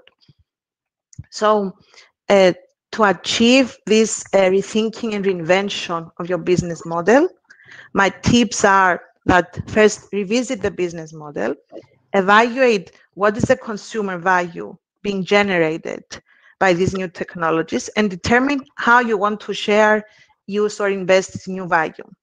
The second is to monetize cognitive assets. You will have data assets and cognitive assets that are relevant to your industry and that you might be able to monetize. And lastly, make your strategy work in AI time. And what this means is that because the technology changes are so rapid and the emerging tech uh, is also so groundbreaking, the traditional annual planning cycles and biannual strategy refreshes are no longer enough. So the speed uh, of strategy has to change. And um, um okay, so this, so I think you're coming uh, to an end, so that's why. Yes, I'm coming to an end. Yes, yeah. I'm coming to an end, but you surprised me a little bit. okay, that's fine. Anyway, Good. so I'm coming to an end. Um, and I just uh, wanted to finish by saying that the data transformation imperative is clearly understood. We've been discussing it since the beginning of this webinar, but the real challenge of organizations will be to identify what are the needs and what are the projects that will justify the investment. And in, in whichever part of your journey you are as an organization, um, it is evident that now you must work to transform data into intelligence more consistently and that your success will depend not only on your systems, but also in your processes and most importantly, in your people. Thank you. Thank you, Christina. Thank you. Uh, definitely. I mean, becoming a data-driven organization. I mean, this is you know from your last slide into what you've just mentioned. Uh, uh, it's great to have experts that are actually looking into AI and all this to to help businesses to implement all of these. Uh, I mean, tools and technologies and, and innovations because uh, it's it's easy to say, but not as easy to you know uh, get it done sometimes. Uh, let me take to a question that we have from the audience. Um, Victor Eftimiades is asking, I think that one of the reasons that businesses are reluctant to implement AI is the lack of skills. So, I mean, definitely AI sounds for some for some people something you know very uh, deep technical, something very you know hard to get, or or something that maybe only Google works at, you know. But uh, is there some initiative from PwC? I mean, how do we educate all these finance leaders? How do you simplify it for them, get, get them down to you know the the the baby steps? Yeah. Uh, so um, I believe that uh, things are now changing. There is a shift in um, in getting new uh, data science data scientists for example, in PwC, we are already a group of 15 data scientists that uh, work on uh, machine learning and analytics applications. Uh, but um, definitely, uh, any organization can upskill. So we perform a lot of upskilling activities uh, to help our clients get up to date uh, with the skills and the tools that they need to know, but also uh, with the change management and the culture they have to develop internally in order to be able to do it themselves. Um, so I think there is now opportunity to get help uh, from experts in Cyprus also. And um, it's usually a good idea to have someone external kickstart your AI journey and then uh, join them along the way in uh, learning the skills and implementing them in your own organization. So perhaps starting with the hotline, calling PwC and saying, I need AI. Yes. Please, please let's arrange an, an, an intro. yeah? Yes, call me. yes, All right. definitely. Thank you, Christina. Thanks for your time. Thank Great you very presentation. Um, so um, conscious on time, I'm moving on into the next topic, which is actually uh, my presentation. And, and thanks, QUBE. Thanks, uh, ICPAC for the opportunity to also um, uh, talk a bit about my experience, talk a bit about how is RCB Bank actually looking into uh, this area of digital transformation and, and, and not necessarily from the inside, but actually from uh, the, the external side of helping our business clients to go all in digital to to transform. I mean obviously we see the market transforming. Uh, obviously there is a lot of digital transformation in, in many areas, uh, uh, in all industries, whether it's serving your clients or whether it's uh, your internal uh, uh, financial controlling and, and, and the data reporting and all these automations in Uh, on your processes. Uh, so what is the digital adoption in finance? I mean, what are some of the new channels or new experience that we are working here in, in RCB and uh, and and trying to to to help our clients for. Um, definitely, it's all here. I mean, how we moved from transformation to adoption because we've we've seen online shopping and and and one of the things that you know, okay, it's there, uh, it's been there for a while, but how is that evolving? Uh, as well as the omni channels or this data-driven innovation and and all these uh, uh new generations that um, are uh, doing everything on their mobile these days. Um, so um, while the market is driven by merchant businesses, definitely while while the consumers are depending of what their um, uh, retailers or what their shops or what their you know uh, the the merchants, whether it's hospitality on food and beverage or, or whatever the industry, uh, those are the ones that are actually setting up the stage, influencing the consumer demands. Um, and we see that because uh, as much as a consumer wants to be using the digital uh, means of uh, whether it's a, you know a digital wallet or some uh, let's say digital um, uh, card or, or something that he wants to use to pay or to or, or a mobile and a, and a laptop to make a purchase online. Uh, it all also boils down to what the market will offer them to use, uh, right? And our role here and what we're trying in our strategy, uh, and uh, after actually 25 years being here in Cyprus and and and expanding in the local market as well as as well as in Europe. We're looking into empowering our merchant clients. We're looking into expanding with our business clients to, to set the stage and improve the digital customer experience. And this is, you know, it's been it's been part of our priorities and it's been part of our, our main key pillars in our strategy lately. Uh, of course, we're looking in the inside as well of how we digitalize our internal workflows, our onboarding processes, our, our own data-driven insights and reporting processes. But definitely, uh, we're working closely with these market drivers. We're working closely with our clients uh, because we want to understand their business and we want to adjust with them or we want to help them provide new channels, provide new experience, and transform their business themselves. And, and this is uh, very important to us. Um, having said that, we're not looking only into the digital economy because yes definitely we're all in moving into digital digital is here uh, with all the ai machine learning with all this innovation and we will also hear a, a great presentation from mastercard later today about what the future is holding from us. Um, i believe from digital we're also moving into the experience economy. And and according to the world economic forum i've been reading that it is booming.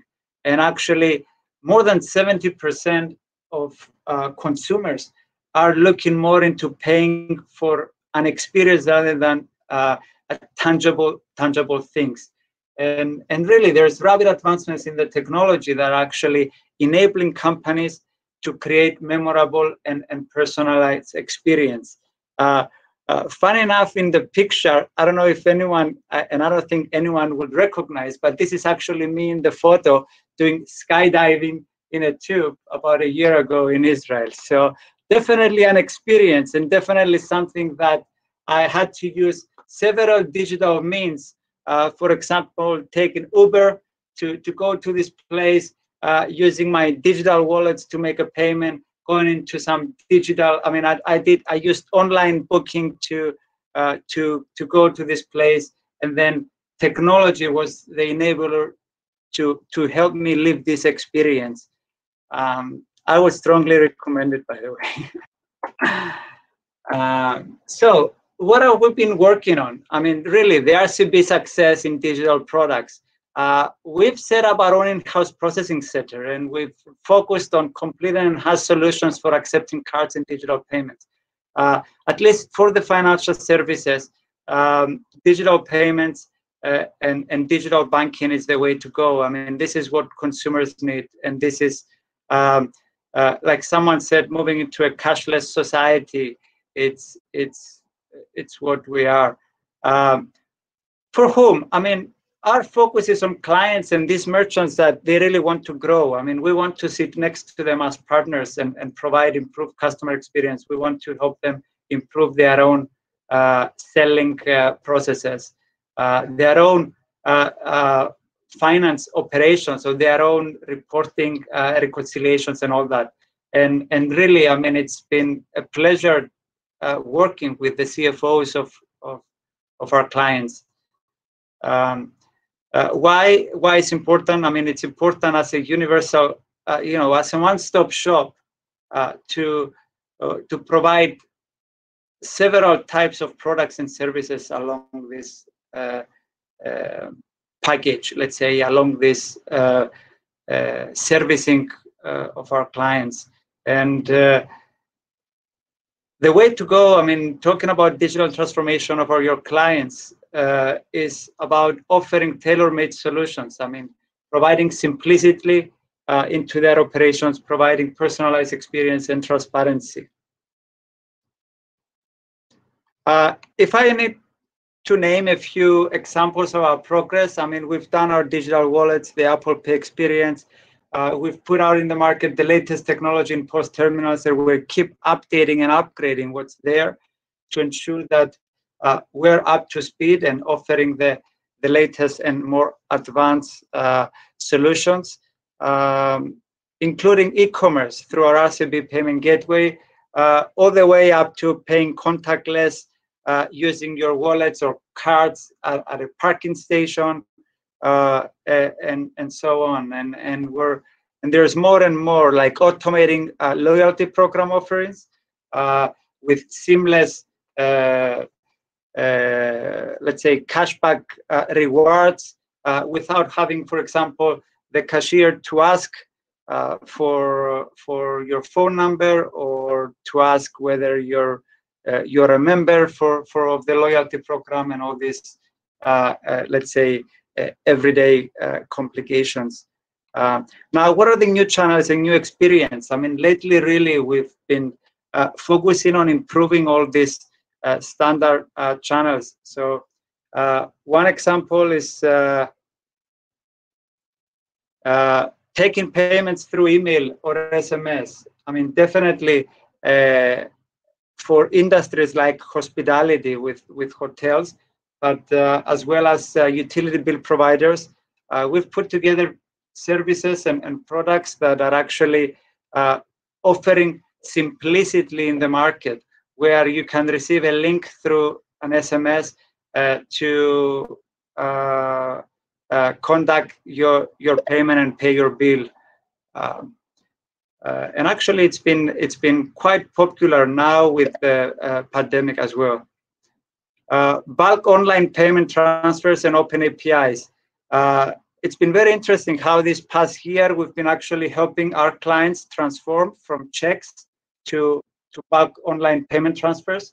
Uh, and also some clients, some major corporate clients that were actually uh, having their systems and their platforms connected to the bank's APIs so that they can receive online and real-time uh, information from their statements, their balances, or conduct their payments directly from their systems. So, so we're not looking into just having a state-of-the-art internet banking or mobile banking for for customers to log in, but how they can do all that from their own systems. Uh, and I can go on and on with this, like simplifying their their uh, their reconciliation processes, their reporting, offering tools and solutions, uh, integrating with their point of sales, and so on. Um, already mentioned about the e-government login that we've uh, uh, helped with Ariadne uh, as well as tokenization, as well as uh, uh, cash at POS service that we've recently launched in an effort to simplify and offer convenience to the consumer uh, without needing to basically withdraw cash without needing to go to ATMs.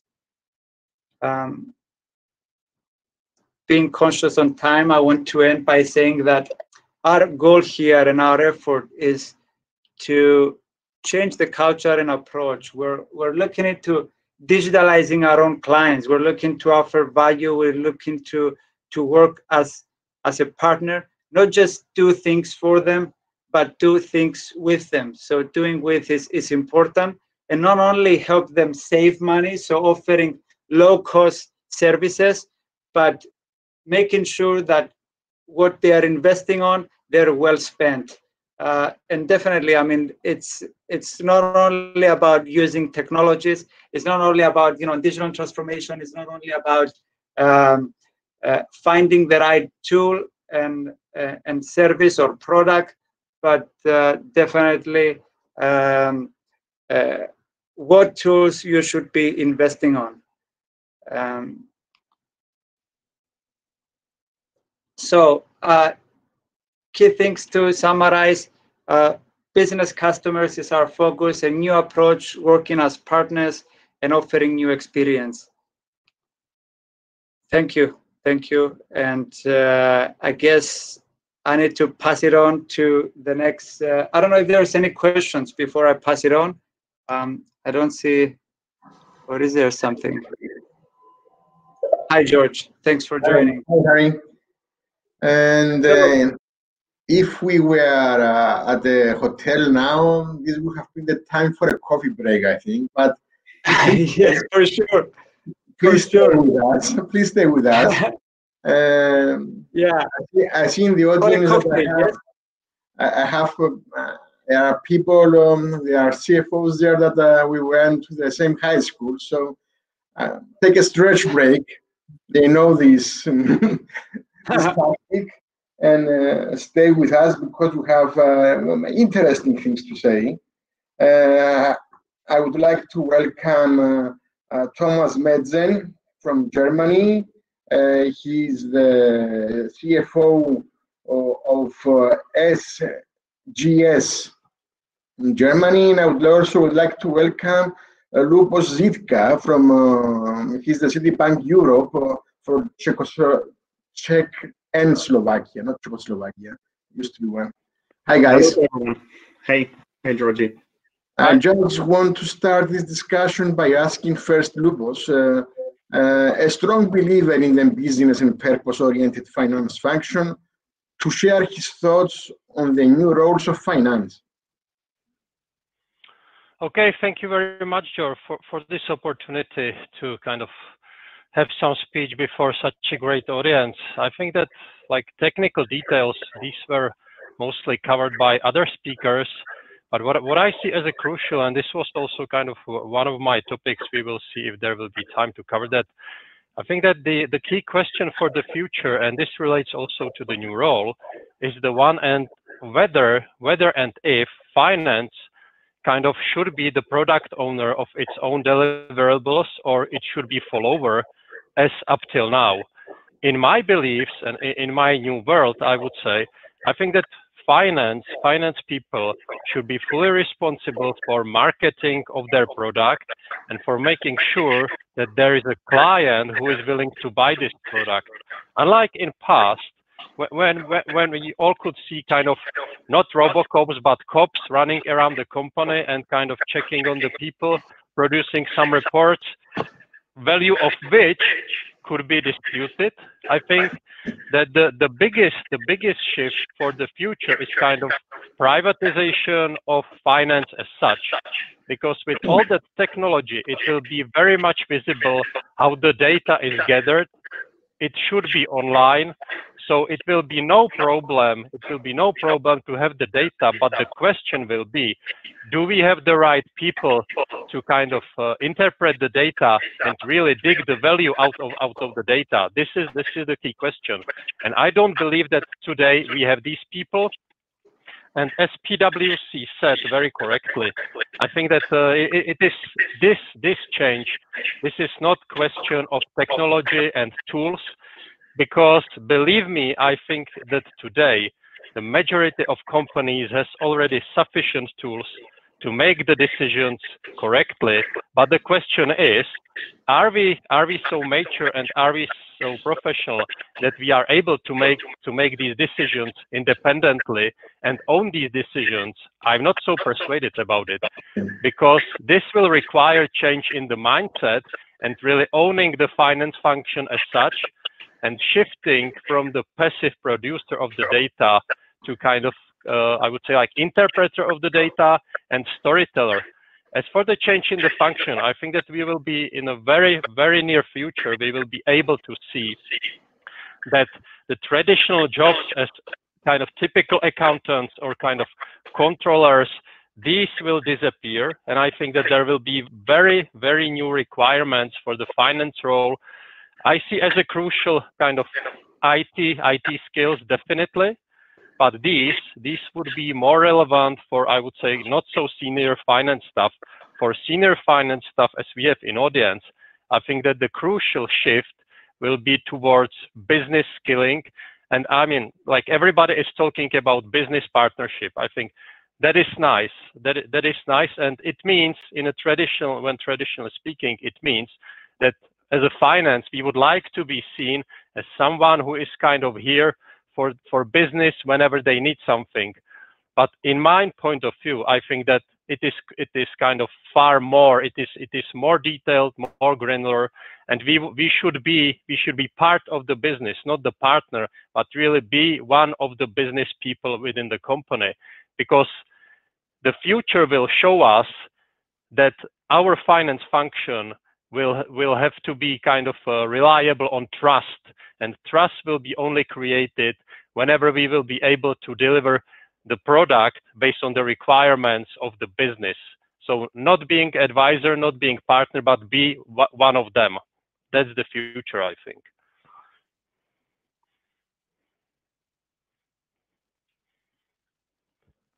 Georgie, you're on mute.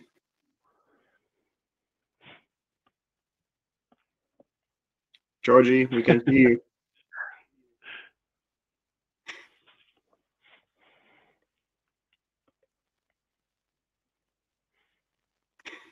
George, hi, you're George. Sorry, sorry. I, I switched into the.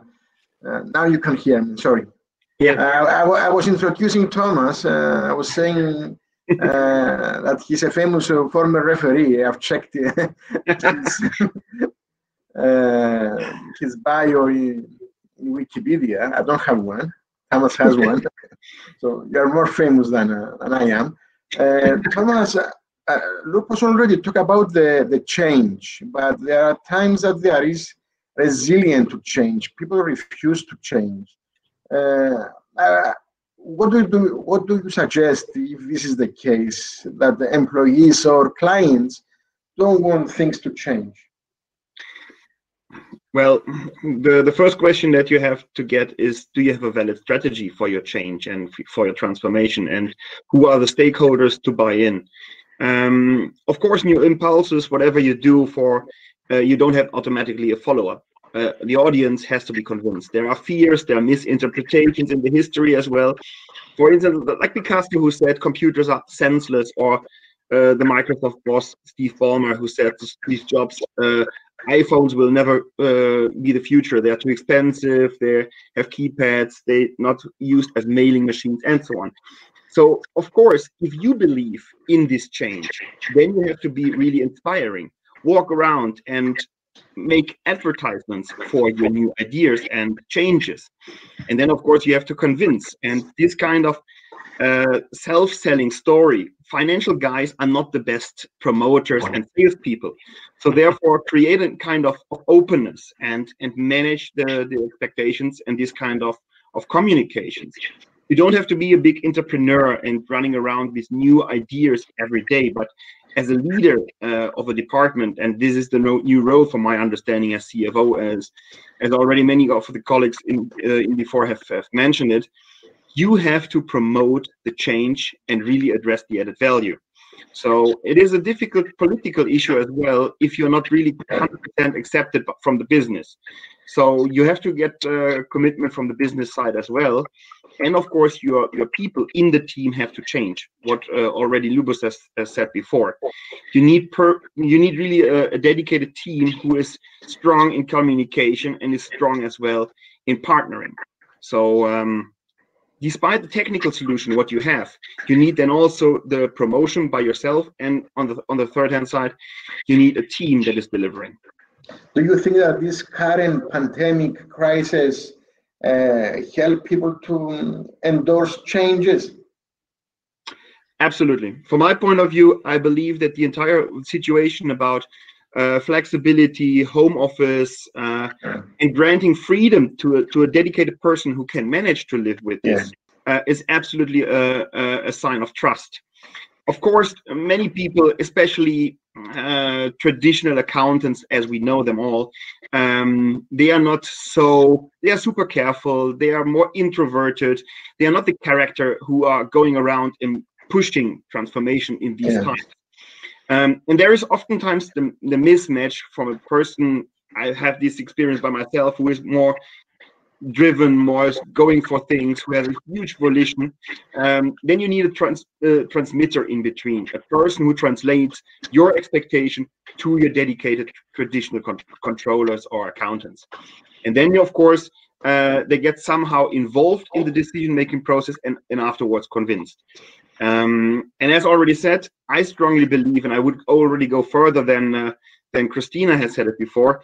I strongly believe that the that part of the IT department, in the traditional sense, what we have right now, will be integrated into finance and will be part of finance in the future, because finance is so cl closely linked with all these new ideas and transactions um, that IT is a elementary pillar of the new strategy of finance itself. Uh, with all the digital dashboards in Power BI, in BW, VWs, and uh, uh, performance apps like utilization of laboratories, cash monitoring, sales pipeline tracking, and so on, you name it. So these kind of ideas get pushed and initiated by finance. So the position of finance becomes more and more managerial uh, and more important for my understanding.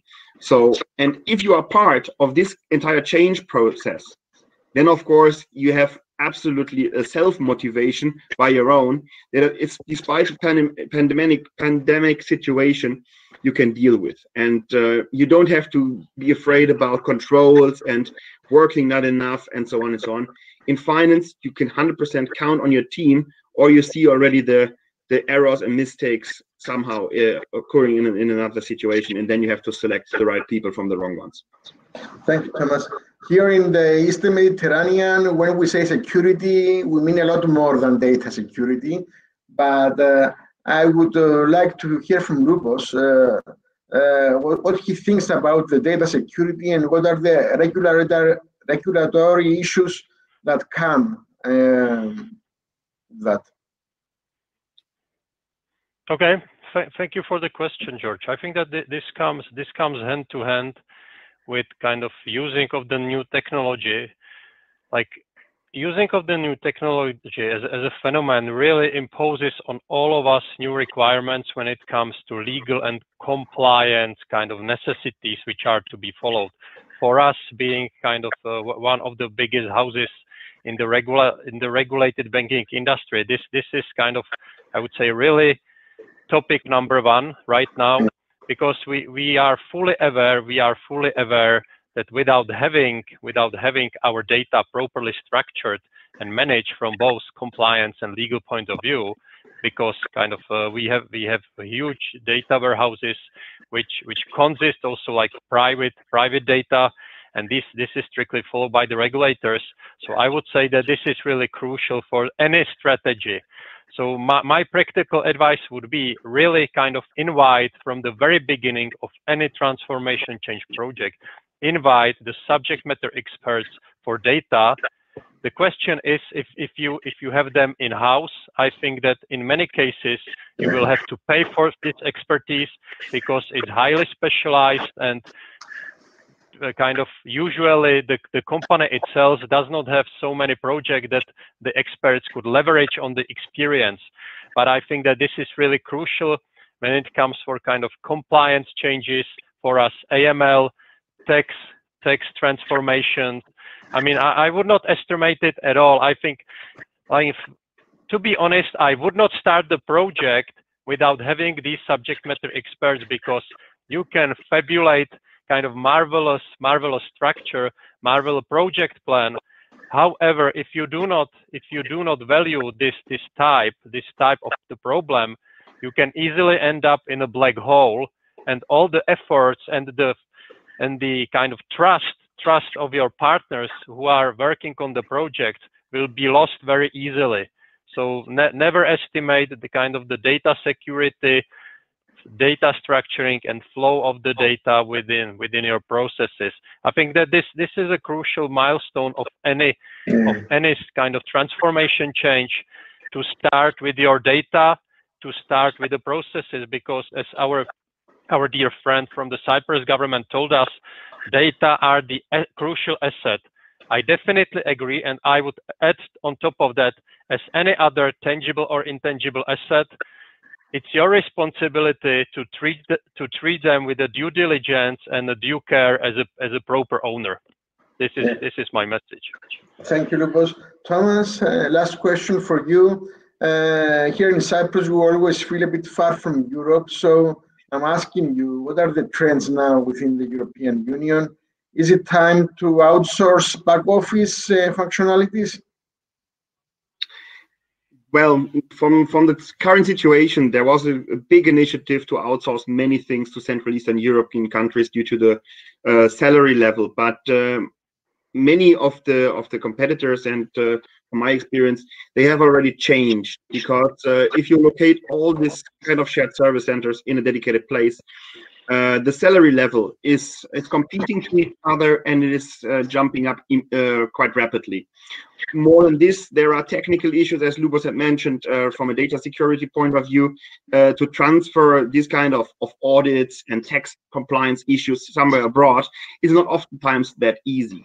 So what I believe is instead of outsourcing things, try to make it in-house, automated, make it more digitalized, make the single point of truth in your own responsibility close to you uh, and then you have a more powerful organization then send it somewhere abroad and then you don't see it and you cannot manage it anymore due to the distance already. Okay. guys i would like to thank you very much uh, for the participating in this discussion. Uh, i think uh, i've learned a few things.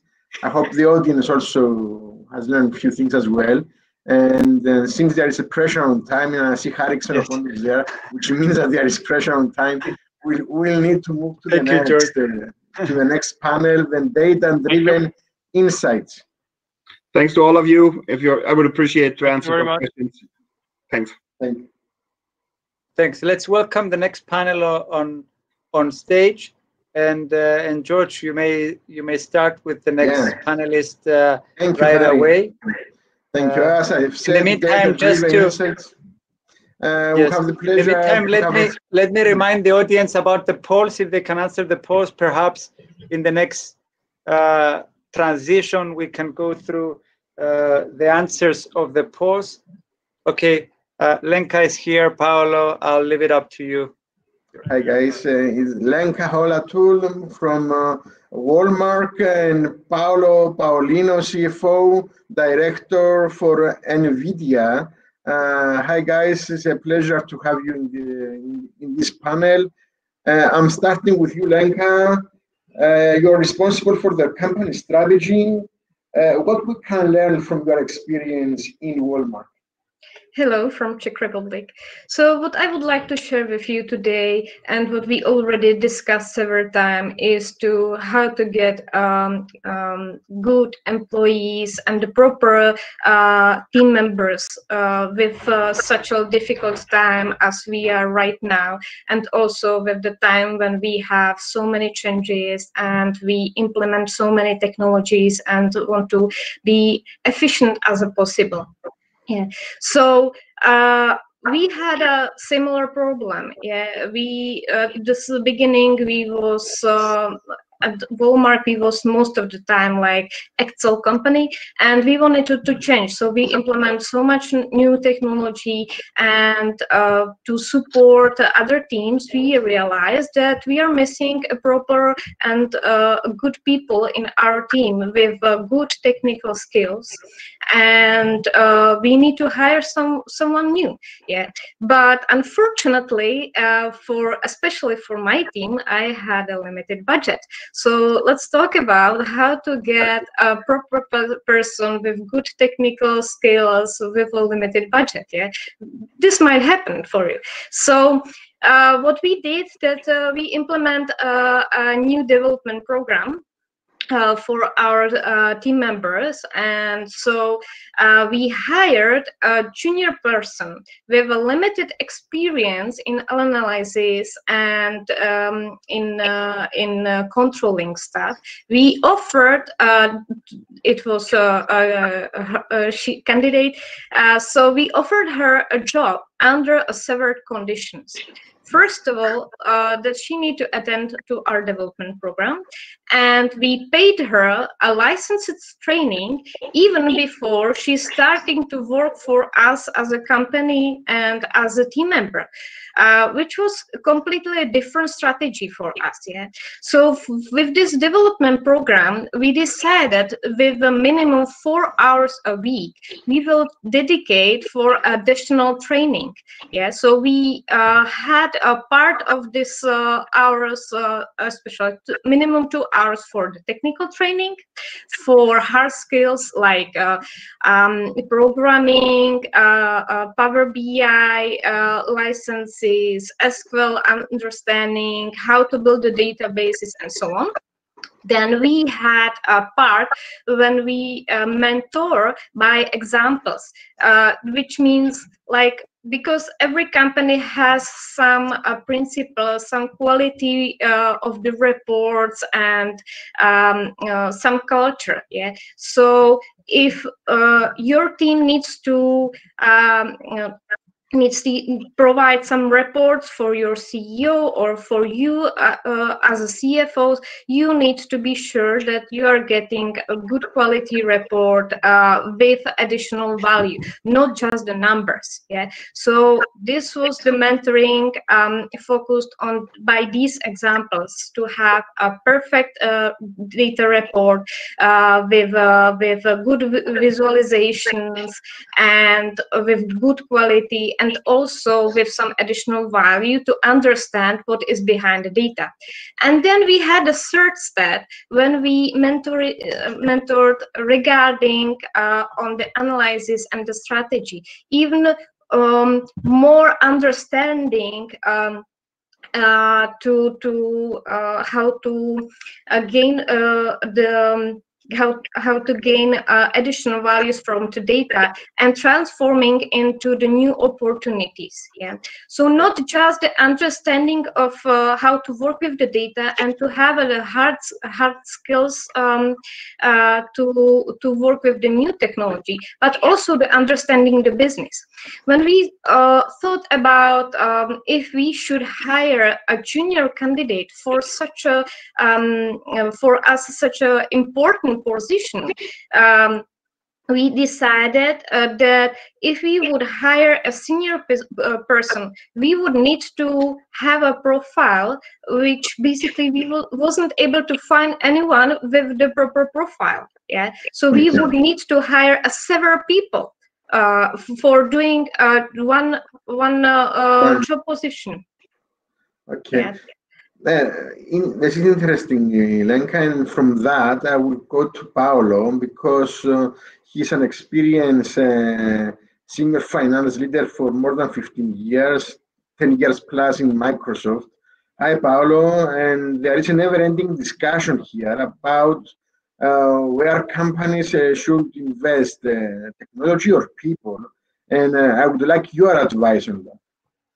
Yeah, no, thanks for the question and uh, hi everyone. So it's a very good question, right? So uh, I've been working for technology companies for the last 15 years, Microsoft first and now NVIDIA. and if you ask me whether uh, anyone should invest in technology, my answer, of course, is yes. Right. So I think if you don't do that, so um, you are missing out. Right. So you won't get very far.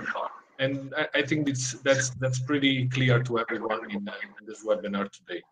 Um, with that said, um, investing in technology per se um, is not enough, right? You also need to invest in, in people, which doesn't mean, in my opinion, uh, hiring new people, right? Uh, but perhaps also developing uh, your your existing people. So I'll give you some examples, right? Um, when you think about implementing new technology, especially in finance, um, the first thing that uh, that you're going to do most likely is automation, right? So Yes. you're gonna you're gonna automate uh, the the way you do things. Uh, because simply what, whenever you ask a finance person can you do this can you do this differently they will they will tell you no i cannot because i don't have the time i don't have the bandwidth to do it so the, the really first strategy is to automate um, the tools that you have to move from excel based tools to more intelligent i will say systems. Uh, so you free up time. So how do you utilize the time of people right? Uh, and I think you need to expose them to new technology, and that's that's uh, absolutely uh, important to develop talent within the organization. Um, for for us as a, as a leaders of in finance, but also for the individuals.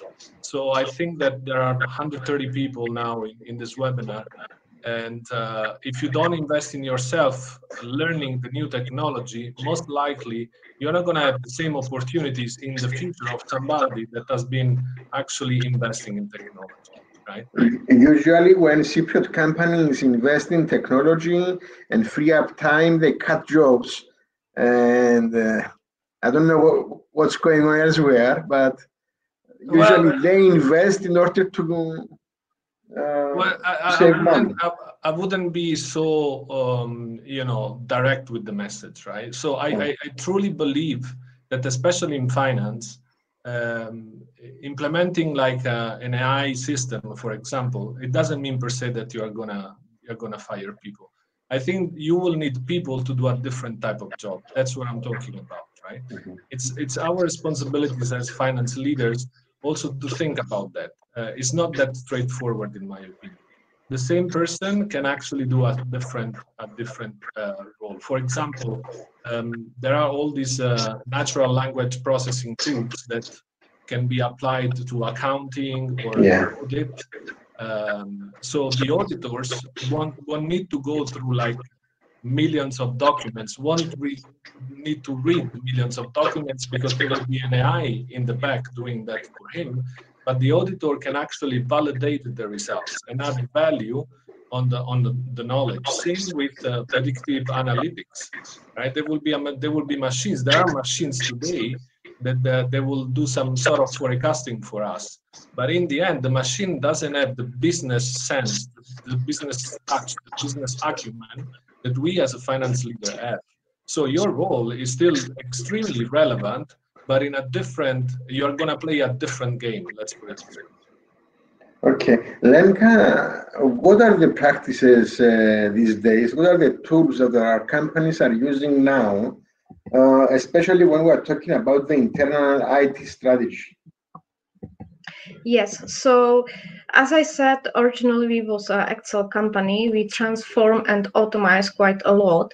Um, but so right now our uh, purpose is to little bit forced all of our employees and colleagues uh, to use uh, more advanced technology.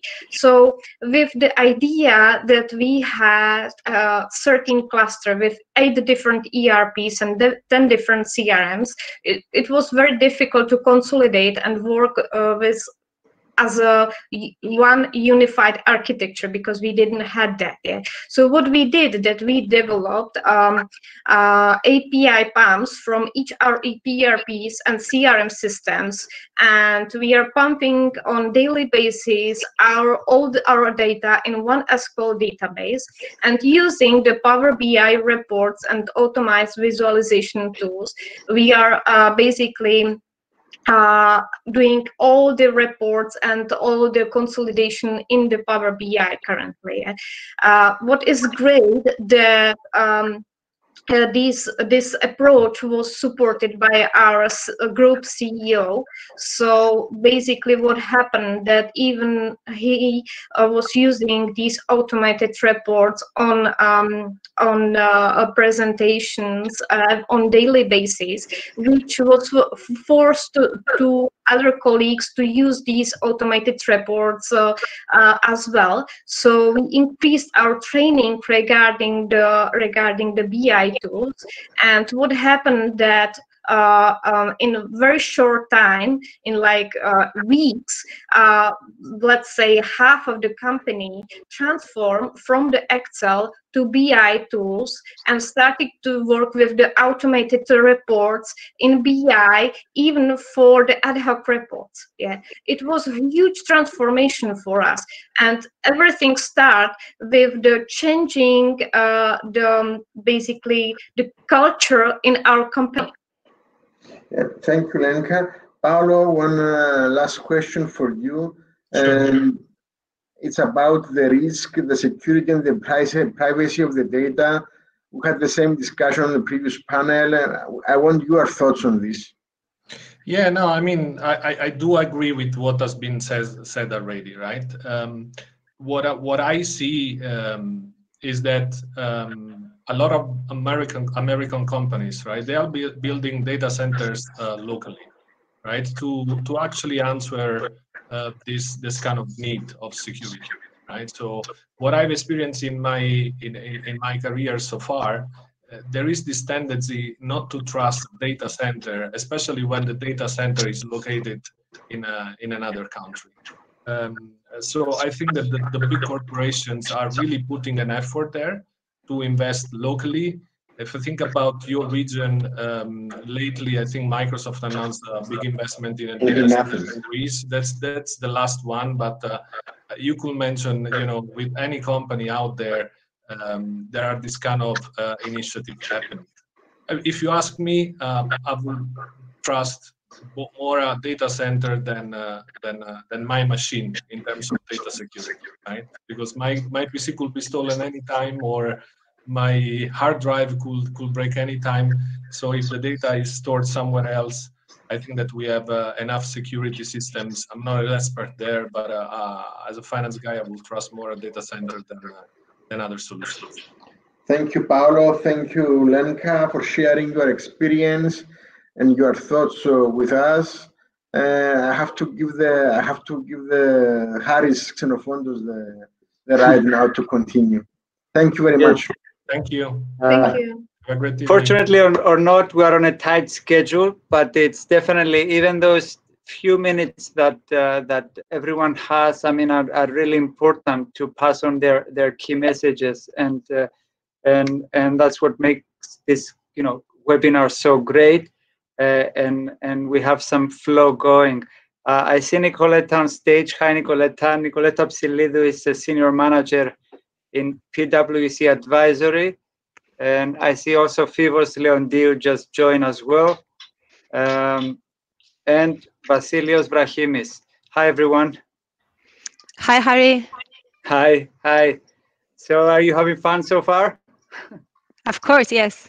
Excellent, excellent. Ready to provide also your own insights on on the perspectives uh, on the practical challenges basically that uh, we have on, on digital transformation, correct? Yes, thank you very much. Yes. All right, uh, the floor is yours. Thank you. So good afternoon to all of you and welcome to our panel discussion. Um, as Harry has already introduced me, uh, I'm a senior manager at PwC's advisory department. And it's a great pleasure both to be participating in this event and to be moderating the panel with our guests. Our topic this afternoon is sharing perspectives on the practical challenges of transformation and we'll be hearing perspectives on the transformation experience of two distinct organizations, as well as the way the two organizations have collaborated in their transformation efforts. So without further ado, um, I would like to introduce you to our panel guests. Phoevos is the Chief Operating Officer at Hellenic Bank in Cyprus, and Vasilis is a partner in charge of banking and health industries and the Head of Technology and Transformation. Hi from me as well. Hi, Fivo. Hi, Vasili. Um, and, and to kick off the, the discussion, I will invite uh, Phoevos first to give us his thoughts. Um, Fivo, could you please tell us more about Hellenic Bank's transformation journey, its goals, the setup, and any challenges, successes you've had? Okay, thank you, Nicoletta, and thank you to the organizers and the sponsors for giving us this opportunity. Basically, uh, just to share some experiences in terms of our transformation planning and uh, governance in the few minutes that we have. And uh, always, it has been said by various speakers today, always the focus is the customer. Also, part of the focus is the internal efficiencies, uh, be it the automation, streamlining, centralization, etc., because uh, both uh, the alignment of the customer and internal efficiencies obviously translate to the results of the bank eventually. Now, on the on the planning and uh, how do we arrive at the planning of the transformation? Obviously, this is part of the whole planning cycle of the bank that it's revisited uh, annually and monitored at uh, even monthly or quarterly intervals during the year. It starts from the risk appetite statement of the bank. The strategy derives from there. Part of the strategy is obviously a major enabler, enabler is uh, transformation transformation uh, then translates into the and strategy more general translates to a number of, of initiatives. We call it the operational plan of the of the bank. And uh, three of the key initiatives of the uh, operational plan are uh, the transformational ones. The main ones which are the for our case is the evolution of our branches on the one side, on the of our digital channels on the other, and of our loan processes in order obviously to achieve the customer uh, alignment and the internal efficiencies as previously discussed. Supporting the three main transformation initiatives are uh, various other initiatives, obviously of transformational nature, which could relate to the migration of customers to the digital channels. They may relate to data analytics, a lot of the topics discussed today, and, and various other initiatives as well. Uh, this as regards the, uh, the planning going to the governance because I think to make transformation successful eventually you need to have good governance about it. There is certain principles that we follow to start with, and one has to do with uh, detailed planning.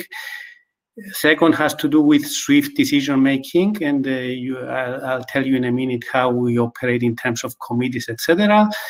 Third one has to do with uh, dedicated resources, and a fourth parameter is, uh, is the, sometimes you have to impose deadlines. And uh, we find that sometimes in imposing deadlines, we get uh, better results.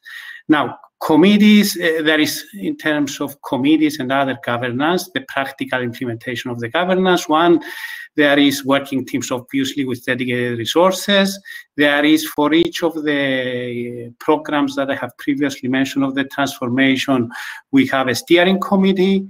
We have an executive transformation committee, which uh, involves the key executives of the bank, including the CEO. We have even a board transformation committee, and uh, this highlights the alignment of our board as well. And obviously, we involve the board of directors with frequent reporting or frequent presentations, etc. There is associated KPIs that we follow, and uh, we see the progress of the transformation plan. As, as said, this is a holistic uh, approach to transformation, and uh, we have done also with the collaboration with with PwC, our transformation office has done an, an overall transformation plan, an overarching transformation plan, through which we managed to record all the initiatives there. We were monitoring them on, online, and we have managed to see the gaps, interdependencies, etc. But I will leave uh, Vasilis to say more about that. This is as far as uh, how we work on the transformation in terms of planning and governance. Perfect. Thank you very much, Fivo. Um, Vasily, uh, could I ask the same question to you to share your perspective of transformation within uh, PwC? Yes, um, thank you, Nicoletta. Um, as you know, actually, I'm currently going through my own personal annual transformation every November. So the mustache and the t-shirt is in support of that cause, and I take this opportunity just ask everybody to to support uh, November campaign uh, generously. Now on to onto our business transformation. At PwC, we have um, an extensive transformational project uh, program. It's not a project; it's a it's a program, a series of different initiatives. Uh, technology is, of course, an enabler for our transformation, but it is not just about bringing in fancy technology. So our program focuses primarily on upskilling our people. Uh, my colleague Christina already mentioned this, and I, I heard other sort of um, participants also mention the importance of, you know, getting the workforce um, in line with the transformation objectives. So what we do is we identified early on that our people need to be upskilled in terms of the the technologies that are the technologies of the future. Uh, so acquiring these new skills they need. And I, in fact, our program has a name. It's, it's called uh, New World, New Skills. And uh, through this extensive transformation program, we focus on primarily upskilling our people into these new technologies, then introducing the technologies in our organization. And you can imagine that this covers all of the tools that have been mentioned so far, from you know BI analytics tools, um, you know automation of processes. That's something we use very very much uh, more recently. Of course, integration of systems and sort of you know straight through you know execution of um, client interaction, etc. Then our program focuses on contributing back to our clients by developing services which build on the experience of our own organization in supporting our clients with their own transformation objectives. And then finally, but also a very important part of our program is to contribute to the society in which we operate as a firm. And this is a global initiative of PwC to contribute back to, to the society under the program I mentioned before. So we have set aside, you know, um, a large sum of money that uh, we uh, including Cyprus, use to offer upskilling opportunities, but technologies also to different society groups which would, you know, find these skills useful to be able to gain employment or to be able to do their job uh, much easier. So actually in Cyprus, one of the things we do is with the youth board. Uh, we found through various different studies that even though younger people are very familiar with social media and perhaps you know experts in using social media. When it comes to using uh, digital skills more broadly, they're very much behind. So we, we, we focus on that as well. Now, our transformation has two objectives. The primary objective is to improve the experience of our own customers and our own people. So it's a joint objective. And then uh, as a consequence, this increases value for us and our clients. But it is important to stress the order in which these objectives take place. So primarily is the increase in the experience of our customers and our people, and then the consequence or the secondary objective is as a result to increase value. Thank you very much, uh, Vasily. So clearly there have been different transformation efforts in the two organizations. Um, I will I will pick up on uh, Fivo's point on the importance of having a swift. Harry, are we out of time already? uh, few more minutes. okay, great. I will minutes. I will um, ask a short question to Fivos on the importance of uh, having effective leadership alignment and engagement to have a swift decision making. Theo, could you please comment on that a bit more? Okay, th thank you, Nicoletta. Very shortly, for the sake of time, mm -hmm. as I mentioned earlier, uh, all the right executives are involved in our governance. The board has a board transformation committee as well, which means uh, which means uh, monthly. Uh, the board of directors as a whole is involved in the planning process, and they are always there for us in terms of hearing our challenges, uh, which they could be related to too much on our plate or to the lack of specialized resources in some cases. They are uh, very supportive in such initiatives.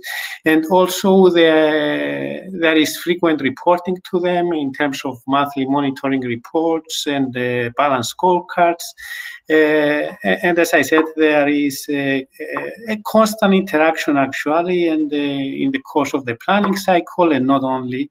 Therefore, there is uh, support and alignment at all times, criticism at some times, but it's always welcome and makes us improve. Great. Uh, thank you, Fivo. And I'll ask the last question to Vasilis uh, to address the comment on the collaboration between Hellenic Bank and PwC in driving their transformation efforts. Sure. Okay. Well, actually, I mean, this is a, great opportunity from both organizations to learn from each other. Now, the benefit that this brings is that you get someone looking from the outside in the organization to give you a different perspective. Sometimes we do that by, you know, getting our customers to give us that insight. Now, in PwC is also a customer of Hellenic Bank, so that also helps. But I mean, we, you know, I like to think we brought in that um, sort of fresh and unbiased perspective into how the organization could benefit or adjust its transformation program. So that's number one. But also importantly, to focus on something that is often sort of um, put on a on, on on a lesser priority, and this is the point of handling change, because you know you have the best transformation offered, introduce program, introduce the best tools, even do all the training and upskilling you need, but you need to be able to focus on how you handle this change so that people actually adopt and use the new processes, new technologies, and they don't become an overlay, an additional burden to the organization. So change was important, and you know I'm very pleased that we're able to sort of contribute that very positive to Hellenic Bank, but also learn from them the way that this organization uh, was dealing with their own transformation program. Thank you, Vasily. So thank you both for your excellent insights into the questions that uh, were raised. It's evident that there, there's no one-size-fits-all formula for a successful transformation. We've mentioned the importance of uh, leadership engagement, uh, proper governance, having a holistic and coordinated approach, the importance of upskilling our people and having proactive change management as transformation is from what we also know a very lengthy uh, and ongoing process. So thanks again for, uh, to our panelists. Thank you all for listening and have a good rest of the day. Thank, Thank you. Bye-bye.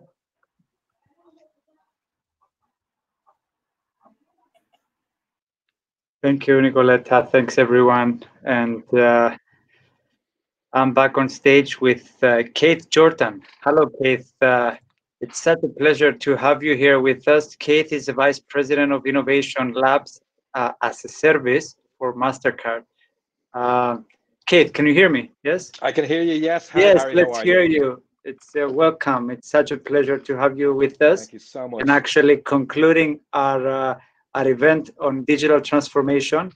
Um, it's uh, it's in, very interesting. I mean, uh, and I've and I've uh, watched this labs as a service from Mastercard, and I've seen you know some of your presentations before, and and uh, really looking into the future. I mean, 10 and 20 and 30 years ahead sure. of uh, how you know our life is changing. You know. With, yes.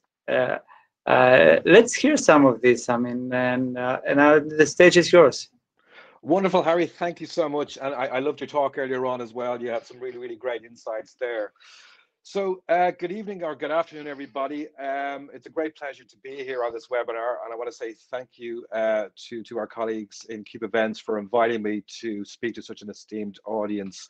Uh, just to give you a bit of an introduction, at MasterCard, I lead the global innovation teams uh, in Labs as a Service, and we are the external corporate innovation group and we essentially deliver cutting edge solutions to all our clients uh, around the world. And essentially, what we do is we fix big problems using technology uh, across multiple verticals and channels. And this gives us really unique insights into digital first trends to spot the opportunities um, for financial service disruption and create new product services and platforms uh, around that. So I'm going to take everybody now on a journey into our technology future, as Harry alluded to, and I'm going to show the show you how the world is going to fundamentally change and demonstrate the types of experiences that we're going to see um, in this next evolution of digital and social transformation. So, starting off with this this this this first slide, um, we we were standing on the precipice of absolutely massive, massive change. The trends that are that have driven the digital adoption and usage during the pandemic has shown us that technology is now the most important driver of economic growth and stability. If companies and organizations are not moving into digital first adoption, their futures are going to be decided by either further economic shocks or new agile digital competitors entering into their marketplaces. The world is going to change more in the next 25 years than it has in the previous 500.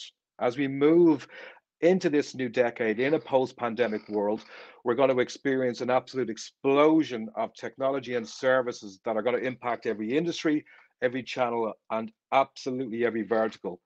And the movement beyond digital transformation has already started. It's already well underway. And the next wave of technology uh, companies and platforms are going to link the digital and the physical worlds uh, together. So in, in this near future that, that, that we're talking about, we're going to interact with brands and companies using voice first, location based AI enabled services built on visual CX and offered at the customer's time of need. And as digital bleeds into this physical world, new methods of consumer interaction must be imagined. But this new technology race won't be just for consumer attention, it's also actually going to be for reality itself. So, to all of our, our, guests here on this stream, welcome to the augmented age. So, augmented reality we we kind of call this the disruption tsunami. If we think technology adoption up to this point has been disruptive and and and and has brought massive change. We've seen nothing yet.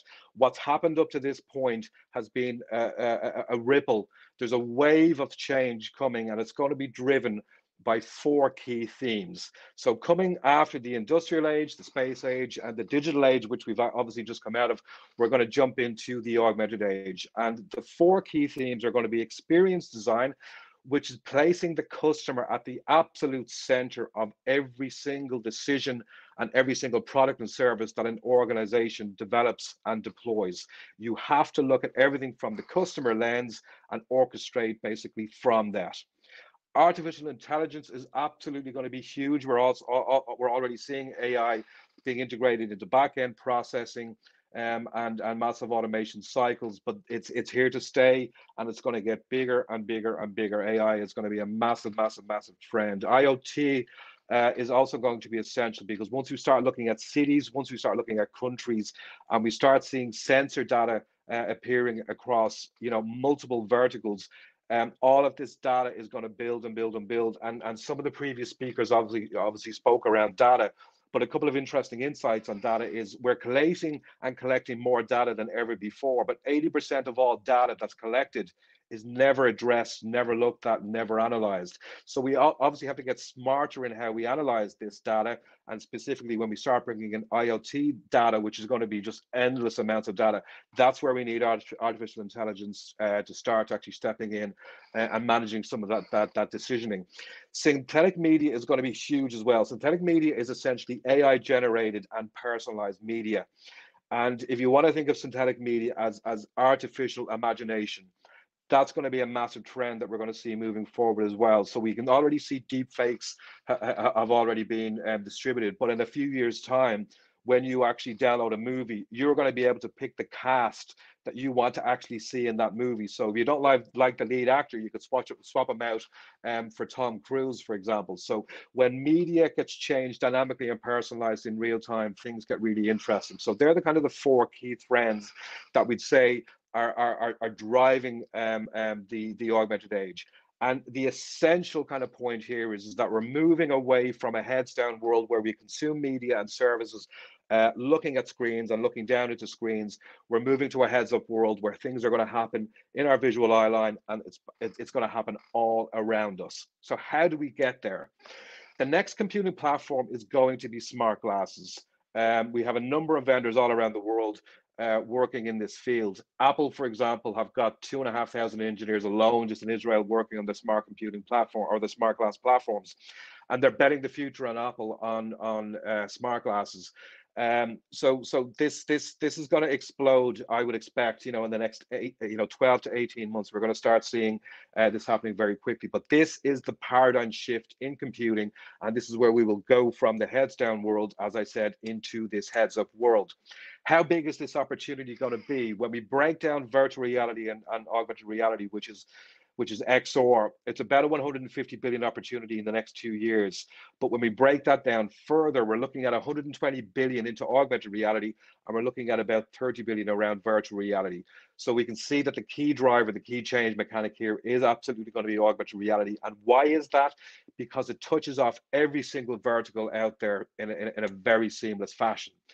The adoption phases that we're going to look at around augmented reality will be around, you know, 10 million shipments emerging next year. So Luxottica and Facebook will launch their smart glasses next year. That'll start that adoption curve, and we're expecting Apple to start releasing potentially uh, some of their glasses as well. They're actually testing in the field um, at the moment. By the time we get to 2023, we're looking at, at, at early majority, and we're looking at potential 100 million shipments at that point. But when we when it gets really interesting is by 2028 we are looking at smart glasses displacing smartphones. So we're potentially looking at twice the adoption curve for smart glasses as compared to uh, smartphones. And around 2028, we'll be looking at a billion shipments in total. So we're looking at one market owner and then four challengers. I think Apple might be the main uh, market owner um, by that point, and we're looking at the likes of Samsung, Lenovo, um, Microsoft, and and some other challengers. Um, but but these are the kind kind of numbers that we're expecting uh, to happen.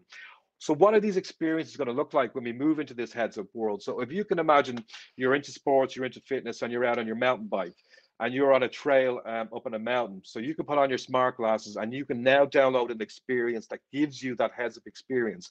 So what we're looking at here is we're looking at a trail that's marked out in front of you.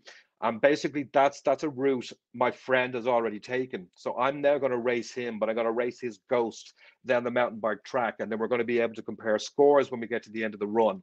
So in this heads-up world, I'm seeing really, really, really important information, but I can visually assess this really quickly. I've got time, speed, I've got a health watch, I've got my mapping, and then I've got my ghost.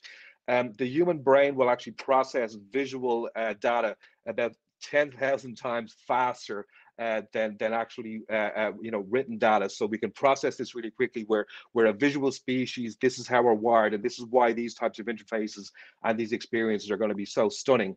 So this is a kind of a health and fitness one when we moved into say something like medical uh, uh, and, and, and, IoT experiences, when you go to the doctor in the near future, the doctor will be wearing smart glasses. So he is going to have all of your case files at his fingertips because he's able to biometrically call up um, all of your information, which is which is really really interesting. He can overlay your X-rays, for example, um, on on on your body use, using uh, uh, uh, computer vision and object mapping. He can bring up interfaces to to pre prescribe therapy. Um, but what's really cool here is, is that we're getting all of this information served up that's location based, biometrically based, but you can interact with this in real time. So this makes things far more efficient, far more far smarter, and far more engaging. But if you can imagine, as I said, going to see a doctor, and this is the type of interface that we're going to see, um, this is really, really stunning. Um, when we look at, say, digital twinning, for example, again, this is another key trend that we're seeing. We're starting to see organizations actually creating and spinning up digital versions, digital only versions of their company using data layers. What we're going to see in the near future as well is the ability to take your complete supply chain and lay that across your boardroom table in real time, you can see cause and effect. If I change a price point by a couple of percentages, what does that mean across my entire supply chain? You can start looking at cause and effect in real time using digital twinning.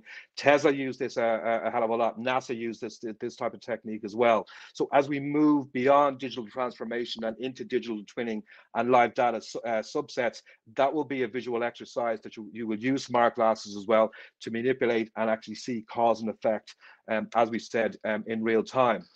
We're all sitting here remotely, obviously because of the pandemic. But again, once we use our smart glasses, we will be able to we, we will live on remotely um, and work remotely um, as as as holograms. Um, so digital humans and, and and avatars are the next wave that's coming in. Uh, people might think this is far future, but uh, very recently, uh, in, in, in the past few days, it was announced that EA Sports have signed up David Beckham's digital avatar um, for the next four years to appear in uh, all of the FIFA uh, football games and the various consoles. They're paying David Beckham 300,000 uh, sterling a week uh, for his digital avatar. So David Beckham is now earning more money a week from his digital avatar playing football than his physical than his physical presence actually ever made when he was playing football. So I mean, this is happening so quickly. But we'll start seeing remote work. We'll start seeing remote telepresence, even you know coming to the forefront even more uh, using smart glasses and augmented reality when we get into say children's entertainment um, so okay my kids uh, use you know dolls and, uh, and play toys. In the near future your child is going to download an artificial intelligence avatar from an app store and that avatar will become a childhood companion that will grow and age with your child in real time. So the child will be able to put on smart glasses and this avatar will appear in front of them. So instead of just doing normal interactions imagine the avatar is actually going to be able to teach the child how to do ballet for example. But as that avatar ages with the child uh, so does all the learnings that the avatar is actually giving to the child. So it has a companion for life, but it has this this digital avatar that is teaching, upskilling, and and doing some uh, you know knowledge based transfer. So again, really really exciting. Advertising will be utterly transformed as well because uh, uh, uh, advertising will turn into an embedded experience. So if I'm walking through Times Square with my smart glasses and I look at a billboard, the billboard can come to life. So if it's a Land Rover advert um, I can look at it. The Land Rover is going to drive out and park beside me. Now I can I can actually order a test drive in that Land Rover, or I could customize it in real time. But they know who I am, they know where I am, and that vehicle could be outside my house the next day for a one-on-one test drive. So whether we like it or not, we're moving far beyond digital transformation. We're moving completely beyond digitization. We're all in the experience business, and how we engage these experiences and how we engage with consumers, it's all going to be going to be done in a visual layer. If we look at, say, IoT, so, so not only smart glasses, but we can also look at smart windscreens. So this is an augmented reality windscreen that's using LiDAR, that's using machine vision, and it's using IoT um, sensor information. But in real time, when you look through your dash or through your windscreen here, it's showing a motorcycle, for example, on the left-hand side. It, it's measured the wheel. It knows that that motorbike is going to drive across your path. So it's flagged that in red. So you know straight away, keep your eye out, something's going to happen. We've got a couple of pedestrians on the right hand side that potentially could step out. That's being highlighted visually to you. So what we're doing is we're not overloading um, um, you know, the spatial awareness with loads of information. We're giving nice light visual cues that you can process quickly and in real time and actually, you know, manage um, all of this data flow. Really, really interesting things. So this augmented layer, these augmented superpowers that we're all essentially going to have will, will, will appear with smart glasses, augmented windscreens. We'll start seeing it, uh, you know, even in windows on trains, so you can actually change the view um, as, as, as you're commuting to work, for example. If we look at home entertainment, this gets really compelling because I've got a TV at home, 55 inch on the wall, fantastic, brilliant. And um, the sitting room where I'm at home is the center of these experiences. But now, if I'm using smart glasses, I can bring that experience with me. So if I'm having a barbecue in the back garden, I can drop a jumbotron in the back garden. I can put whatever content I want on uh, on that, for example, and I can customize that into a gamified experience, a community experience uh, for me and my friends to have great fun um, outside. So when you're bleeding this digital world into this physical world, we can do exceptional things, but we're, we're, we're recreating how people interact, how they work with brands, how they engage with brands, but it's all experience led. But say, for example, I go to a live football game because live experiences are still, you know, absolutely critical. Everybody's craving to get back into into kind of crowded environments with with with, with people. That's still applicable. But imagine I could bring my experience from the back garden, but I could I could drop that um, in the football stadium. And whilst I'm watching a game live, I could be watching highlights from other games, um, uh, uh you know, above the pitch um, in real time as well. This could be a, a, further monetized experience that a site owner potentially could also offer as an engaged experience to fans attending an actual event. So as a premium type service, um, you would pay a, a, few quid more on your ticket, for example, to have this level of experience. That could be one-to-one interviews with, you know, some of the footballers or, or, or, or potentially even virtual meet and greets. But as I said, this, this digital uh, uh, uh, uh magic is going to bleed into this physical world uh, very, very quickly. If we take something as simple as weather, so I can fire up my mobile phone now and I can have a look and see, you know, what the weather forecast is, is, is potentially going to be. Now, it only gives me a little bit of an insight as to as to what that could be. But when I look at smart glasses, it applies the location data, the barometric pressure, and it actually wraps that around the actual cloud or, or the weather uh, uh, cycle that I'm actually looking at. So I can visually see that the storm is heading in that direction. I'm absolutely okay. I don't need to worry about it. So again, we can see health and safety, uh, uh, you know, awareness here. We can do tons of stuff with this. This is absolutely amazing things. I want to finish up very briefly and talk about Fortnite as well, because I could talk around metaverses and that would be a, a, an entire presentation that I could probably go on for about two hours. Um, but persistent universes and digital worlds are, are here to stay. Uh, Fortnite has exploded. If if any of the, the viewers on the calls here have, have have children that are actually playing games, let them play games. Encourage them to play video games. It rewires the brain. It brings out strategic intent in the brain, visual awareness, spatial awareness, strategy, fine motor skills, all the skills that kids are going to need when they enter the workforce in 15 or 20 years. So let them play games. Um, Fortnite's absolutely amazing. They've built an audience now of 350 million people playing this game. They did an event last year with Travis Scott, who's a, a, a rapper from the US and did a live event where he appeared on the island as an avatar. They had 12.3 million views concurrently uh, on that last year. And to give you uh, uh, a, a, comparison, the leading uh, viewership uh, uh, or the most high, highest rated show in America is the NFL on a Monday evening.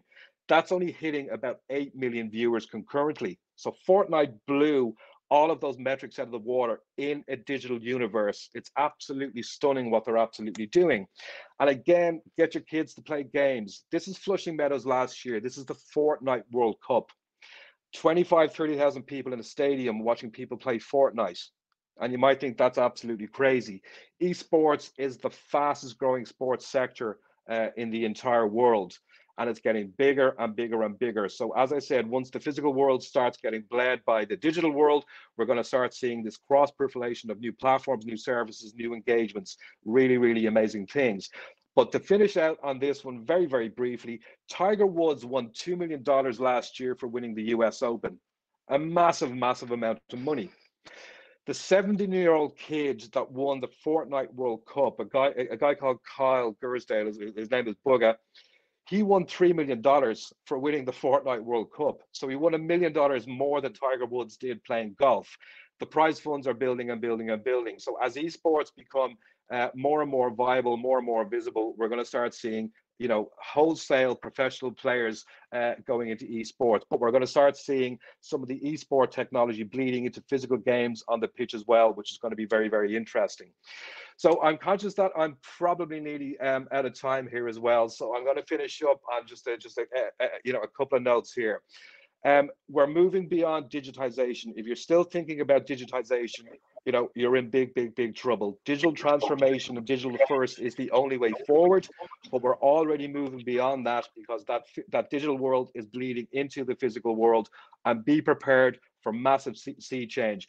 But we're going to explode in the next decade around technologies and services. You guys are going to create a revolution, and these are exciting times. And thank you very, very much uh, for taking the time to listen, guys. Wow, wow, Keith, wow. Everyone is so excited. I mean, come on, wow. Keith, it was amazing. Everyone wants to go home and play games now. I know. That's incredible. That is incredible, Keith. Thank you so much for that. Wow, that was truly inspirational. Couldn't have couldn't have ended this session. I'm so glad that we have you, Keith. That was just inspirational uh, just yeah, it just paints the picture. Literally, no pun intended. Well, pun intended. Really, just really gives us that picture of the future. And um, yeah, I feel like uh, I'm completely uh, blown away by that. So thank you so much, Keith. Really appreciate that. Please, everybody, reach out to Keith with any questions you may have. We did run a little bit over today. I am going to pass over to our chairman, co-chairman. Um, it's just incredible, Keith. Uh, just, yeah, I'm blown away Thank by you, that. Thank you so much. really, Thank you. It, it changes the mindset. It really changes the way of thinking. It really, it really helps. I mean, see some things in a in a totally different perspective, and and it's true. I mean, there's a lot of uh, logic there. I mean, and, and I can't wait to to see all this in live. You know, it's like it makes you want to live more years to see more of this. Yeah, I'm really excited man, about uh, what you have described to us. Well, next year, hopefully, when we're, when we're back doing, um, you know, real events, I can I can come down and bring some of the toys, and we can actually show people and put them in these worlds. For sure. That's Yeah, I would incredible. love to. Would love That's to. incredible, Keith. Consider consider your invitation already uh, sent and accepted. Yeah. So thank you, No thank you. No problem. No We, we you know, the have next event up. Focus on innovation. You know, you know, innovation as a service. Absolutely, absolutely. And I've been to the innovation labs, they're incredible. So, yeah, just definitely the playground for all this stuff. So, Keith, thank you. We're wrapping up. Um, from Thank my so side, I'd like to thank everybody again. Thank you to PwC for sponsoring today's event. Thank you to RCB for powering the Finance Leaders uh, series. Uh, thank you to Marta for all the work on the content and everything related with QUBE. Thank you to Harry and to George for, for, for chairing today. Great job. George, thank you so much. You did a great job. Harry, fantastic. I think we shared amazing insights. We have put on the chat uh, the results of the polls so you can all see uh, and read what, what you all voted for in terms of the polls. We have run out of time. I will leave everybody else to say goodbye. So from my side, thank you. Thank you for all the support. Goodbye from me as well. I think I, I, I've said enough. I mean, George, thank you for co-chairing. I mean, you did great. And the moderation, looking forward to do it again. Uh, thanks, Yeah. Marta, for the producing of the event. Uh, for everyone, please have a look at the, the poll answers. Uh, thanks Mm. for, for giving your your submitting your um, your answers there. Yeah, thank you guys. Uh, it's been a pleasure being with you. Uh, I know I've, I've learned many things, and I would like to go over the webinar and check for more details that I might have missed out. Thank you very much. Yeah, and a big thank you at the end from my side as well. A special thanks for the wonderful speakers, Harry, Georgios. Thank you so much for your support. And yeah, I hope to see you at our next events.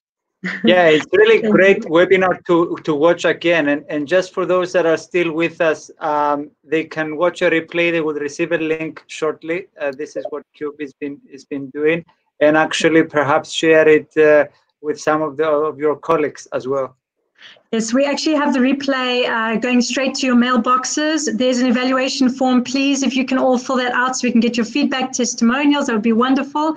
Uh, to the CFO ICPAC committee, thank you so much.